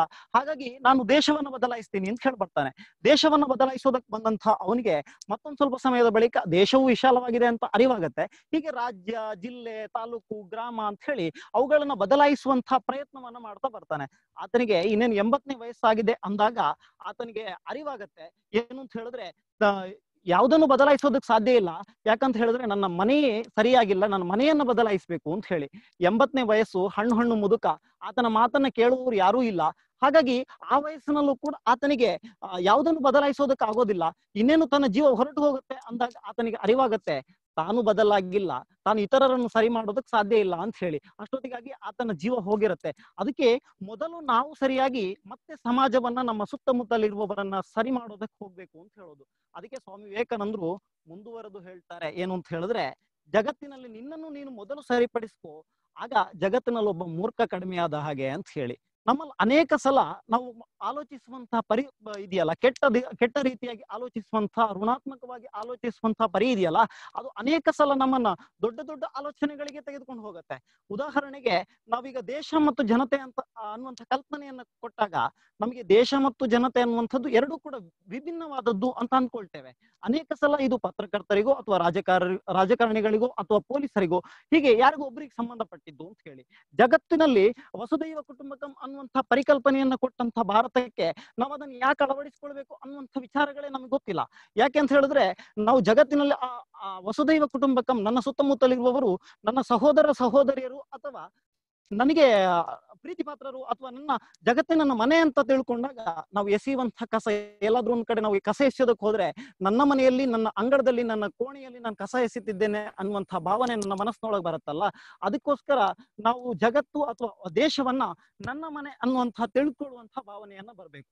ಅನೇಕ ಸಲ, ಹಾಗಾದ್ರೆ ನಾನು ಬದಲಾಗುವಂತಹ ರೀತಿ ಜಗತ್ತಿಗೆ ಅಥವಾ ದೇಶಕ್ಕೆ ಏನ್ ಕೊಡುಗೆಯನ್ನ ಕೊಡೋದಕ್ಕೆ ಸಾಧ್ಯ ಇದೆ? ನಾನು ಬದಲಾಗುವಂತ ನಾನು ಮಾಡುವಂತ ಸಣ್ಣ ಬದಲಾವಣೆ ಏನು ಕೊಡುಗೆಯನ್ನ ಕೊಡಬಹುದು ಅನ್ನುವಂಥ ಪ್ರಶ್ನೆ ನಮಗೆ ತುಂಬಾ ಸಲ ಕಾಡುತ್ತೆ. ದೇಶಕ್ಕೋಸ್ಕರ ಏನಾದ್ರೂ ಕೊಡುಗೆ ಕೊಡಬೇಕು ಅಥವಾ ದೇಶ ಸೇವೆ ಮಾಡಬೇಕು ಅಂದಾಗ ನಾವು ಅನೇಕ ಸಲ ಯೋಚಿಸುವಂತ ರೀತಿ ಏನ್ ಗೊತ್ತಾ? ದೇಶದಲ್ಲಿ ಬಂದು, ಗಡಿಯಲ್ಲಿ ಬಂದೂಕು ಹಿಡಿದು ನಿಂತ್ಕೊಳ್ಳುವಂತಹ ಯೋಧನ ಚಿತ್ರಣ ನಮ್ಮ ಕಣ್, ಕಣ್ಣ ಮುಂದೆ ಬರುತ್ತೆ ಅಥವಾ ಇನ್ಯಾವುದೋ ಚಿತ್ರಣಗಳು ನಮ್ಮ ಕಣ್ಣ ಮುಂದೆ ಬರುತ್ತೆ. ಹಾಗಾದ್ರೆ ನಾವು ಮಾಡಬೇಕಾದಂತ ಸಣ್ಣ ಪುಟ್ಟ ಆಲೋಚನೆಗಳನ್ನ ನಾವ್ ಯಾಕೆ ಆಲೋಚಿಸೋದಿಲ್ಲ. ಉದಾಹರಣೆಗೆ ನಾವ್ ಯಾವುದೋ ಒಂದು ಅಂಗಡಿಗೆ ಹೋಗ್ತೀವಿ. ಅಂಗಡಿಗೆ ಹೋಗಿ ಅಲ್ಲಿ ವರ್ತಕ ನಮಗೆ ಏನಾದ್ರು ಸಾಮಾನುಗಳನ್ನ ತೆಗೆದುಕೊಂಡಾಗ ಒಂದು ರಶೀದಿಯನ್ನ ಕೊಡ್ತಾನೆ. ಆ ರಶೀದಿಯನ್ನ ಕೊಟ್ಟಂತಹ ಸಂದರ್ಭದಲ್ಲಿ ಆತ ಬರೆದು ಕೊಡ್ತಾ, ಕೊಡ್ತಾನೆ ಒಂದು ರಶೀದಿ. ಆ ರಶೀದಿಯ ಬದಲಾಗಿ ನಾವೇನಾದ್ರೂ ಜಿ ಎಸ್ ಟಿ ಬಿಲ್ ಅನ್ನ ಕೇಳಿದ್ರೆ ಆ ಜಿ ಎಸ್ ಟಿ ಬಿಲ್ಗೆ ಬದಲಾಗಿ ಆತ ಒಂದ್ ಇಪ್ಪತ್ತು ರೂಪಾಯಿ ಜಾಸ್ತಿ ಕೇಳಬಹುದು ಅಥವಾ ಜಿ ಎಸ್ ಟಿ ಬಿಲ್ ಅನ್ನ ಕೊಟ್ಟು ಬಿಡಬಹುದು. ಆದ್ರೆ ನಾವು ಹಾಗೆ ಬರೋದ್ರಿಂದಾಗಿ ದೇಶದ ಬೊಕ್ಕಸಕ್ಕೆ ಹೋಗುವಂತ ಹಣವನ್ನು ತಡೆಯಬಹುದು. ಒಂದು ವೇಳೆ ಆ ಇಪ್ಪತ್ತು ರೂಪಾಯಿಯನ್ನ ಕೊಟ್ಟಾದ್ರೂ ನಾವು ಆ ಹಣವನ್ನ ದೇಶಕ್ಕೆ ದೇಶದ ಬುಕ್ಕಸಕ್ಕೆ ಸೇರಿಸುವಂತಹ ಪ್ರಯತ್ನವನ್ನ ಮಾಡ್ತೇವಲ್ಲ, ಅದು ಕೊಡಬಹುದು ದೇಶಕ್ಕೆ ಕೊಡಬಹುದಾದಂತಹ ಸಣ್ಣ ಕೊಡುಗೆ. ಯಾವುದೋ ಒಂದು ಸಾರಿಗೆ ಬಸ್ನಲ್ಲಿ ಹೊರಟು ಹೋಗ್ತಾ ಹೋಗ್ತಾ ಇರ್ತೀವಿ. ಅಲ್ಲಿ ನಿರ್ವಾಹಕ ನಮಗೆ ಟಿಕೆಟ್ ಕೊಡುವ ಬದಲು ಒಂದ್ ಎರಡು ರೂಪಾಯಿ ಚಿಲ್ಲರೆ ಜಾಸ್ತಿ ಕೊಡ್ತಾನೆ. ಟಿಕೆಟ್ ಕೊಡೋದಿಲ್ಲ ಅಂತ ಹೇಳ್ತಾನೆ. ಆ ಸಂದರ್ಭದಲ್ಲಿ ನಾವು ಆ ಎರಡು ರೂಪಾಯಿಯನ್ನ ಕೊಟ್ಟಾದ್ರೂ ಆ ಟಿಕೆಟ್ನ ಹಣವನ್ನ ನಾವು ಆ ಸಾರಿಗೆ ಸೇರಿಸುವಂತಹ ಸೇರಿಸುವಂತ ಪ್ರಯತ್ನ ಇದೆಯಲ್ಲ ಅದು ದೇಶಕ್ಕೆ ಕೊಡಬಹುದಾದಂತಹ ಸಣ್ಣ ಕೊಡುಗೆ. ಇಲ್ಲಿ ಸುಖ ಸುಮ್ಮನೆ ವಿದ್ಯುತ್ ಅನ್ನ ಬಳಸುವಂತಹ ಬದಲು ಯಾವೊಂದು ಒಂದು ಹೇಳಿದ್ರೆ ಅದೇ ವಿದ್ಯುತ್ ಯಾರ್ದೊಬ್ಬ ತೋಟ ಯಾರ್ದೊಬ್ಬನ ರೈತನ ಮನೆಯಲ್ಲಿ ತೋಟಕ್ಕೆ ಒಂದೆರಡು ಗಂಟೆಗಳ ಕಾಲ ಹೆಚ್ಚು ಪಂಪ್ ರನ್ ಆಗೋದಕ್ಕೆ ಯೂಸ್ ಆಗ್ಬೋದು ಅಥವಾ ಅವನ ಮನೆಯ ತೋಟಕ್ಕೆ ಒಂದೆರಡು ಗಂಟೆಗಳ ಕಾಲ ಹೆಚ್ಚು ನೀರು ಹೋಗ್ಬಹುದು ಅಥವಾ ನಾವ್ ಯಾವ್ದೋ ಒಂದು ದೂರವನ್ನ ಕ್ರಮಿಸಬೇಕಾದ್ರೆ ಹತ್ತಿರದ ದೂರವನ್ನ ಯಾವುದೋ ಒಂದು ಕಾರು ಅಥವಾ ಬೈಕ್ಗಳ ಮೂಲಕ ಕ್ರಮಿಸುವಂತಹ ಬದಲು ನಾವು ಹತ್ತಿರದ ದೂರಗಳನ್ನ ನಡೆದುಕೊಂಡು ಹೋಗುವಂತಹದ ಆ, ಪ್ರಯತ್ನವನ್ನ ಮಾಡಿದ್ರೆ ಅಥವಾ ಸೈಕಲ್ ಅನ್ನು ಉಪಯೋಗಿಸುವಂತಹ ಪ್ರಯತ್ನವನ್ನ ಮಾಡಿದ್ರೆ ಯಾವುದೋ ದೂರದ ಗಲ್ಫ್ ರಾಷ್ಟ್ರಗಳಿಂದ ಆಮದು ಮಾಡಿಕೊಳ್ಳುವಂತಹ ಪೆಟ್ರೋಲ್ನ ಅಥವಾ ಕಚ್ಚಾ ತೈಲಗಳ ಪ್ರಮಾಣವನ್ನ ಅವರ ದೇಶಕ್ಕೆ ಕೊಡಬಹುದಾದಂತಹ ಸುಂಕಗಳ ಪ್ರಮಾಣವನ್ನ ನಾವು ಕಡಿಮೆ ಮಾಡಬಹುದು. ಈ ಬದಲಾವಣೆಗಳು ನಮ್ಮಿಂದ ಆರಂಭವಾಗಬೇಕಾಗಿದೆ. ನಾವು ಜಗತ್ತನ್ನ ನಮ್ಮ ಮನೆ ಅಂತ ಅಂದ್ಕೊಂಡಾಗ ಅಥವಾ ದೇಶವನ್ನ ನಮ್ಮ ಮನೆ ಅಂತ ಅಂದ್ಕೊಂಡಾಗ ನಾವು ಯಾವ್ದಾದ್ರು ಒಂದು ಆಹಾರವನ್ನು ಸೇವಿಸುವಾಗ ಹೆಚ್ಚಾದಂತಹ ಆಹಾರವನ್ನು ಎಸೆಯುವ ಸಂದರ್ಭದಲ್ಲಿ ನಮ್ಮ ಮನಸ್ಸಿಗೆ ನಮ್ಮದೇ ಕುಟುಂಬದ ಯಾವುದೇ ಒಬ್ಬ ಸದಸ್ಯ ಶ್ರಮ ಪಟ್ಟಂತಹ ಶ್ರಮದ ಫಲ ಇದು ಅಂತ ಅನಿಸ್ಲಿಕ್ಕೆ ಶುರುವಾದಾಗ ಅಥವಾ ನಾವು ಎಸೆಯುವಂತಹ ಹೆಚ್ಚಾದ ಅನ್ನವನ್ನ ನಮ್ಮದೇ ಮನೆಯ ಕುಟುಂಬದ ಸದಸ್ಯ ಇನ್ನೊಬ್ಬ ಯಾರು ಉಂಟು, ಅದನ್ನು ಉಂಟಾನೆ ಅನ್ನುವಂತ ಭಾವನೆ ನಮ್ಮೊಳಗೆ ಮೂಡುತ್ತಲ್ಲ, ಅಲ್ಲಿಂದ ಬದಲಾವಣೆಯ ಪರ್ವ ಆರಂಭವಾಗುತ್ತೆ. ಹೀಗಾಗಿ ನಾವು ಬದಲಾಗೋದ್ರಿಂದಾಗಿ ನಮ್ಮ ಬದಲಾವಣೆ ಒಂದಿಷ್ಟು ಜನರಿಗೆ ನಮ್ಮ ಸುತ್ತಮುತ್ತಲವರನ್ನ ಬದಲಾವಣೆಗೆ ಪ್ರೇರೇಪಿಸುತ್ತೆ. ಆ ಬದಲಾವಣೆಯನ್ನು ನೋಡಿಕೊಂಡು ಅವರು ಕೂಡ ಒಂದಷ್ಟು ಬದಲಾವಣೆಗಳನ್ನ ತಮ್ಮ ಜೊತೆಗೆ ಅಳವಡಿಸಿಕೊಳ್ಳೋದಕ್ಕೆ ಶುರು ಮಾಡ್ತಾರೆ. ಆ ಬದಲಾವಣೆ ಪರ್ವ ಒಂದಷ್ಟು ಸಮಾಜವನ್ನ ಬದಲಾಯಿಸುತ್ತೆ. ಹೀಗೆ ಒಂದಷ್ಟು ಜನ ಅವರನ್ನು ನೋಡಿ ಮತ್ತೊಂದಷ್ಟು ಜನ ಹೀಗೆ ಬದಲಾವಣೆ ನನ್ನಿಂದ ಶುರುವಾದಂತಹ ಬದಲಾವಣೆ ನಮ್ಮವರಿಂದ ಶುರುವಾಗಿ ಕೊನೆಗೆ ಸಮಾಜದ ಬದಲಾವಣೆ ಆಗತ್ತೆ. ಈ ಸಮಾಜದ ಬದಲಾವಣೆ ದೇಶದ ಬದಲಾವಣೆಗೆ ನಾಂದಿ ಹಾಡತ್ತೆ. ಹಾಗಾಗಿ ಸ್ನೇಹಿತರೆ ಹೇಳೋದು, ನಾನು ಬದಲಾದ್ರೆ ಮೊದಲು ನಾನು ಬದಲಾಗಬೇಕು, ನಾನು ಬದಲಾಗಿ ಇತರರನ್ನು ಬದಲಾಯಿಸುವಂತಹ ಪ್ರಯತ್ನವನ್ನ ಮಾಡಬೇಕು. ಇತರರನ್ನು ಬದಲಾಯಿಸುವಂತಹ ಪ್ರಯತ್ನಕ್ಕೆ ಮುಂದಾದಾಗ ದೇಶವೇ ಬದಲಾಗುತ್ತೆ, ಸಮಾಜವೇ ಬದಲಾಗತ್ತೆ. ಧನ್ಯವಾದಗಳು. ಥ್ಯಾಂಕ್ ಯು ಸ್ವಸ್ತಿ Kanyadi. Be the change you want to see in the world. That was a great speech. ಕಿತ್ತೂರಿನ ಕಿತ್ತೂರು ರಾಣಿ ಚೆನ್ನಮ್ಮನ ಹಾಗೆ ಬ್ರಿಟಿಷರ ವಿರುದ್ಧ ಅನೇಕ ಹೋರಾಡಿದ ಅನೇಕ ವೀರ ವನಿತೆಯರು ನಮ್ಮ ಭಾರತದಲ್ಲಿ ಜನಿಸಿದ್ದಾರೆ let us salute to all our freedom fighters who fought for our country now we have Jayamma from women's peace league school just passed her 10th, has come up to present your song ತಾಯಿ ನಿನಗೆ Jeevadarati. Let us welcome her.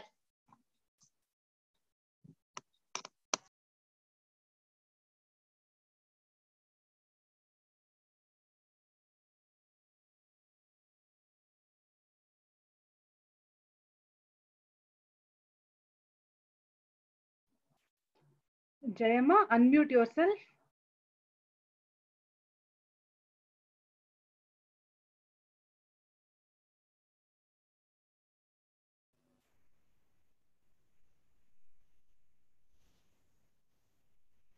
ಸಾವಿರದಳ Kamalini ಓ ಭಾರತಿ. ತಾಯಿ ನಿನಗೆ ಹಿಗೋ ಜೀವದಾರತಿ. ಸಾವಿರದಳ ಕಮಲಿನಿ ಓ ಭಾರತಿ. ತಾಯಿ ನಿನಗೆ ಹಿಗೋ ಜೀವದಾರತಿ. ಸಾವಿರದಳ ಕಮಲಿನಿ ಓ ಭಾರತಿ. ನೂರು ನುಡಿಗಳಿಂದ ಕಂದರನ್ನು ಕರೆವ ವಾಗ್ವಿದೆ. ಹಲವು ರೀತಿ ಹಾಡಿಯಾಲ ನೋಡಿ ಪೊರೆವ ಶಾರದೆ, ಕೈಯ ಹಿಡಿದು ಅಡಿಯ ನಿಡಿಸಿ ಮುನ್ನಡೆಸುವ ದಾರಿಣಿ ತೊದಲ ನುಡಿಸಿ ಕೇಳಿ ಹರ್ಷ ತಾಡಿ ನಲಿವ ತಾರಿಣಿ. ಸಾವಿರದಳ ಕಮಲಿನಿ, ಹೋ ಭಾರತಿ, ತಾಯಿ ನಿನಗೆ ಹಿಗೋ ಜೀವದಾರತಿ. ಸಾವಿರದಳ ಕಮಲಿನಿ, ಹೋ ಭಾರತಿ ತಬ್ಬಿದಾಗ ಮಕ್ಕಳು ರಣಚಂಡಿಯಾಗಿ ಖಂಡಿಸಿ, ಮತ್ತೆ ಕರೆದು ಲಲ್ಲೆಗರೆದು ಕಣ್ಣನುರಿಸಿ ಮುದ್ದಿಸಿ, ನಮ್ಮ ಸೋದರತ್ವವನ್ನು ನಮಗೆ ಮನನಗೊಳಿಸುತ್ತ ಮನೆಯ ನಿಲ್ಲಿಸಮ್ಮ ತಾಯೆ ನಮ್ಮನೆಲ್ಲ ಹೊಲಿಸುತ್ತಾ.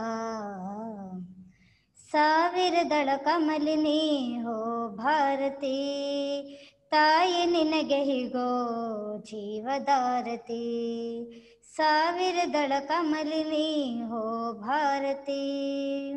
ಹಲವು ತಾರೆಯಿಂದ ಒಂದು ಬೆಳಕ ಸೂರ್ಯ ಮಾಡಿದವಳೆ, ಹಲವು ದಾರೆಯಿಂದ ಒಂದು ವರ್ಷ ಗೀತೆ ಹಾಡಿದ ತೆಕ್ಕೆ ಬಿಗಿದ ತಾಯಿ. ಇಂದು ನಮ್ಮನಂದು ಗೂಡಿಸೆ. ತೆಕ್ಕೆ ಬೆಗೆತು ತಾಯಿ ಇಂದು ನಮ್ಮನೊಂದು ಗೂಡಿಸೆ. ಹಲವಿದ್ದರು ಹೊಲವೊಂದೇ ಎಂಬ ತತ್ವ ಮೂಡಿಸೆ. ಸಾವಿರದಳ ಕಮಲಿನಿ ಹೋ ಭಾರತಿ, ತಾಯಿ ನಿನಗೆ ಹಿಗೋ ಜೀವಧಾರತಿ.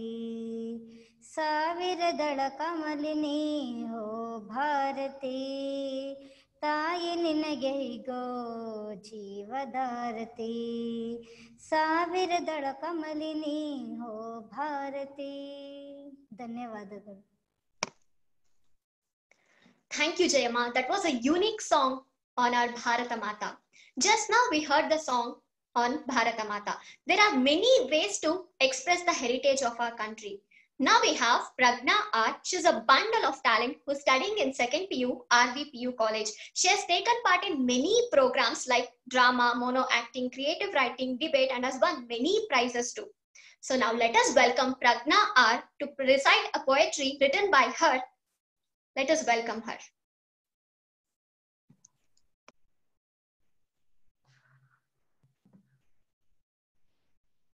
A very good morning to all of you. I, Pragna R, would like to thank Disha Bharat for organizing this campaign and giving us a platform to showcase our talents and learn more about our beloved country. On the occasion of the 74th Indian independence, I would like to recite a poem written by me on the topic My Bharat. The land of purity, mystery, and diversity, the nation known for unity and secularity, the realm of unparalleled natural beauty, the birthplace of culture and spirituality. My Bharat, my salutations to you. The land of the most ancient order of ascetics, the place known for its moral values and ethics, the origin of yoga and meditation, the mother of religions and civilization. The country known for kindness and generosity, the place famous for tourism and hospitality. The land of fables, legends, and traditions, the abode of festivals and celebrations. My Bharat, my salutations to you. The land of myths, chronicles, epics, and mythologies, the birthplace of human speech and the cradle of humanity. The country which worships two million gods and deities, the place associated with holiness and divinity. The land of seven sacred rivers, worshipped as goddesses, the realm of seven mountains, majestic and flawless. The birthplace of the Saptarishis extolled in the Vedas, the origin of classical music and the Saptaswaras. My Bharat, my salutations to you. The country known for Sanskriti and Sanskrit literature, the place famous for Puranas and Upanishads, the origin of Natya Shastra and the Navarasas, the birthplace of the 64 Kalas. My Bharat, my salutations to you. The country which treats guests and visitors as gods, where customs and rituals are followed as if they were laws. The country which worships saints, scholars, and teachers. The place known for its visionaries and spiritual leaders. My Bharat, my motherland, my beloved nation, to you I offer reverent homage and salutation. I take the pledge of dedication to your service. I will forever be devoted to you, I promise. I take the pledge of dedication to your service. I will forever be devoted to you, I promise. Thank you. Wow, my Bharat, my salutations to you. Very beautifully expressed your thoughts on my Bharat. Thank you, Pragna. There are many traditional dance forms in our country. The oldest traditional dance form is Bharatanatyam. Now we have Shrishti S. Joshi, who is studying in second year engineering from Dr. Ambedkar Institute of Technology. Her achievements in dance are endless. She has given solo performance uh, for Guinness Book of World Records for uh, Ranjini Kala Kendra. She has given many Bharatanatyam performances in various platforms. Let us welcome Shrishti S. Joshi.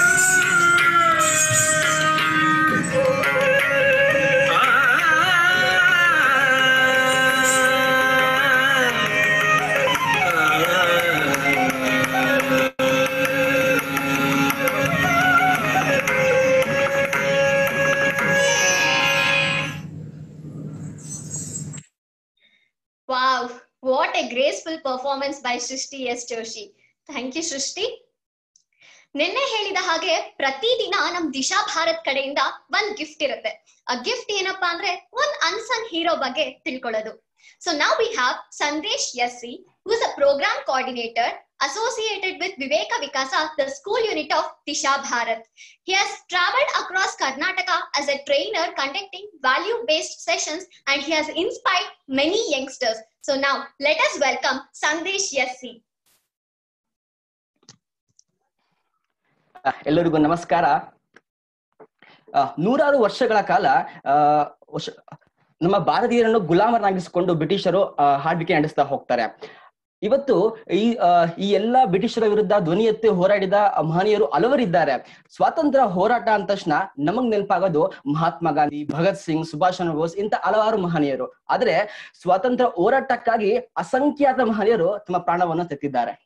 ಆತರ ಆ ಎಲ್ಲ ಹಲವರಲ್ಲಿ ಇವತ್ತು ನಾನು ನಿಮ್ಗೆ ಒಬ್ಬ ವ್ಯಕ್ತಿ ಪರಿಚಯ ಮಾಡಿಕೊಟ್ಟು, ಮಾಡ್ಕೊಡಕ್ ಹೊರಟಿದ್ದೀನಿ ಆ ವ್ಯಕ್ತಿ ಹೆಸರು ಯಾರು ಅಂದ್ರೆ ಸುರಪುರದ ರಾಜ ಚಿಕ್ಕ ವೆಂಕಟಪ್ಪ ನಾಯಕ.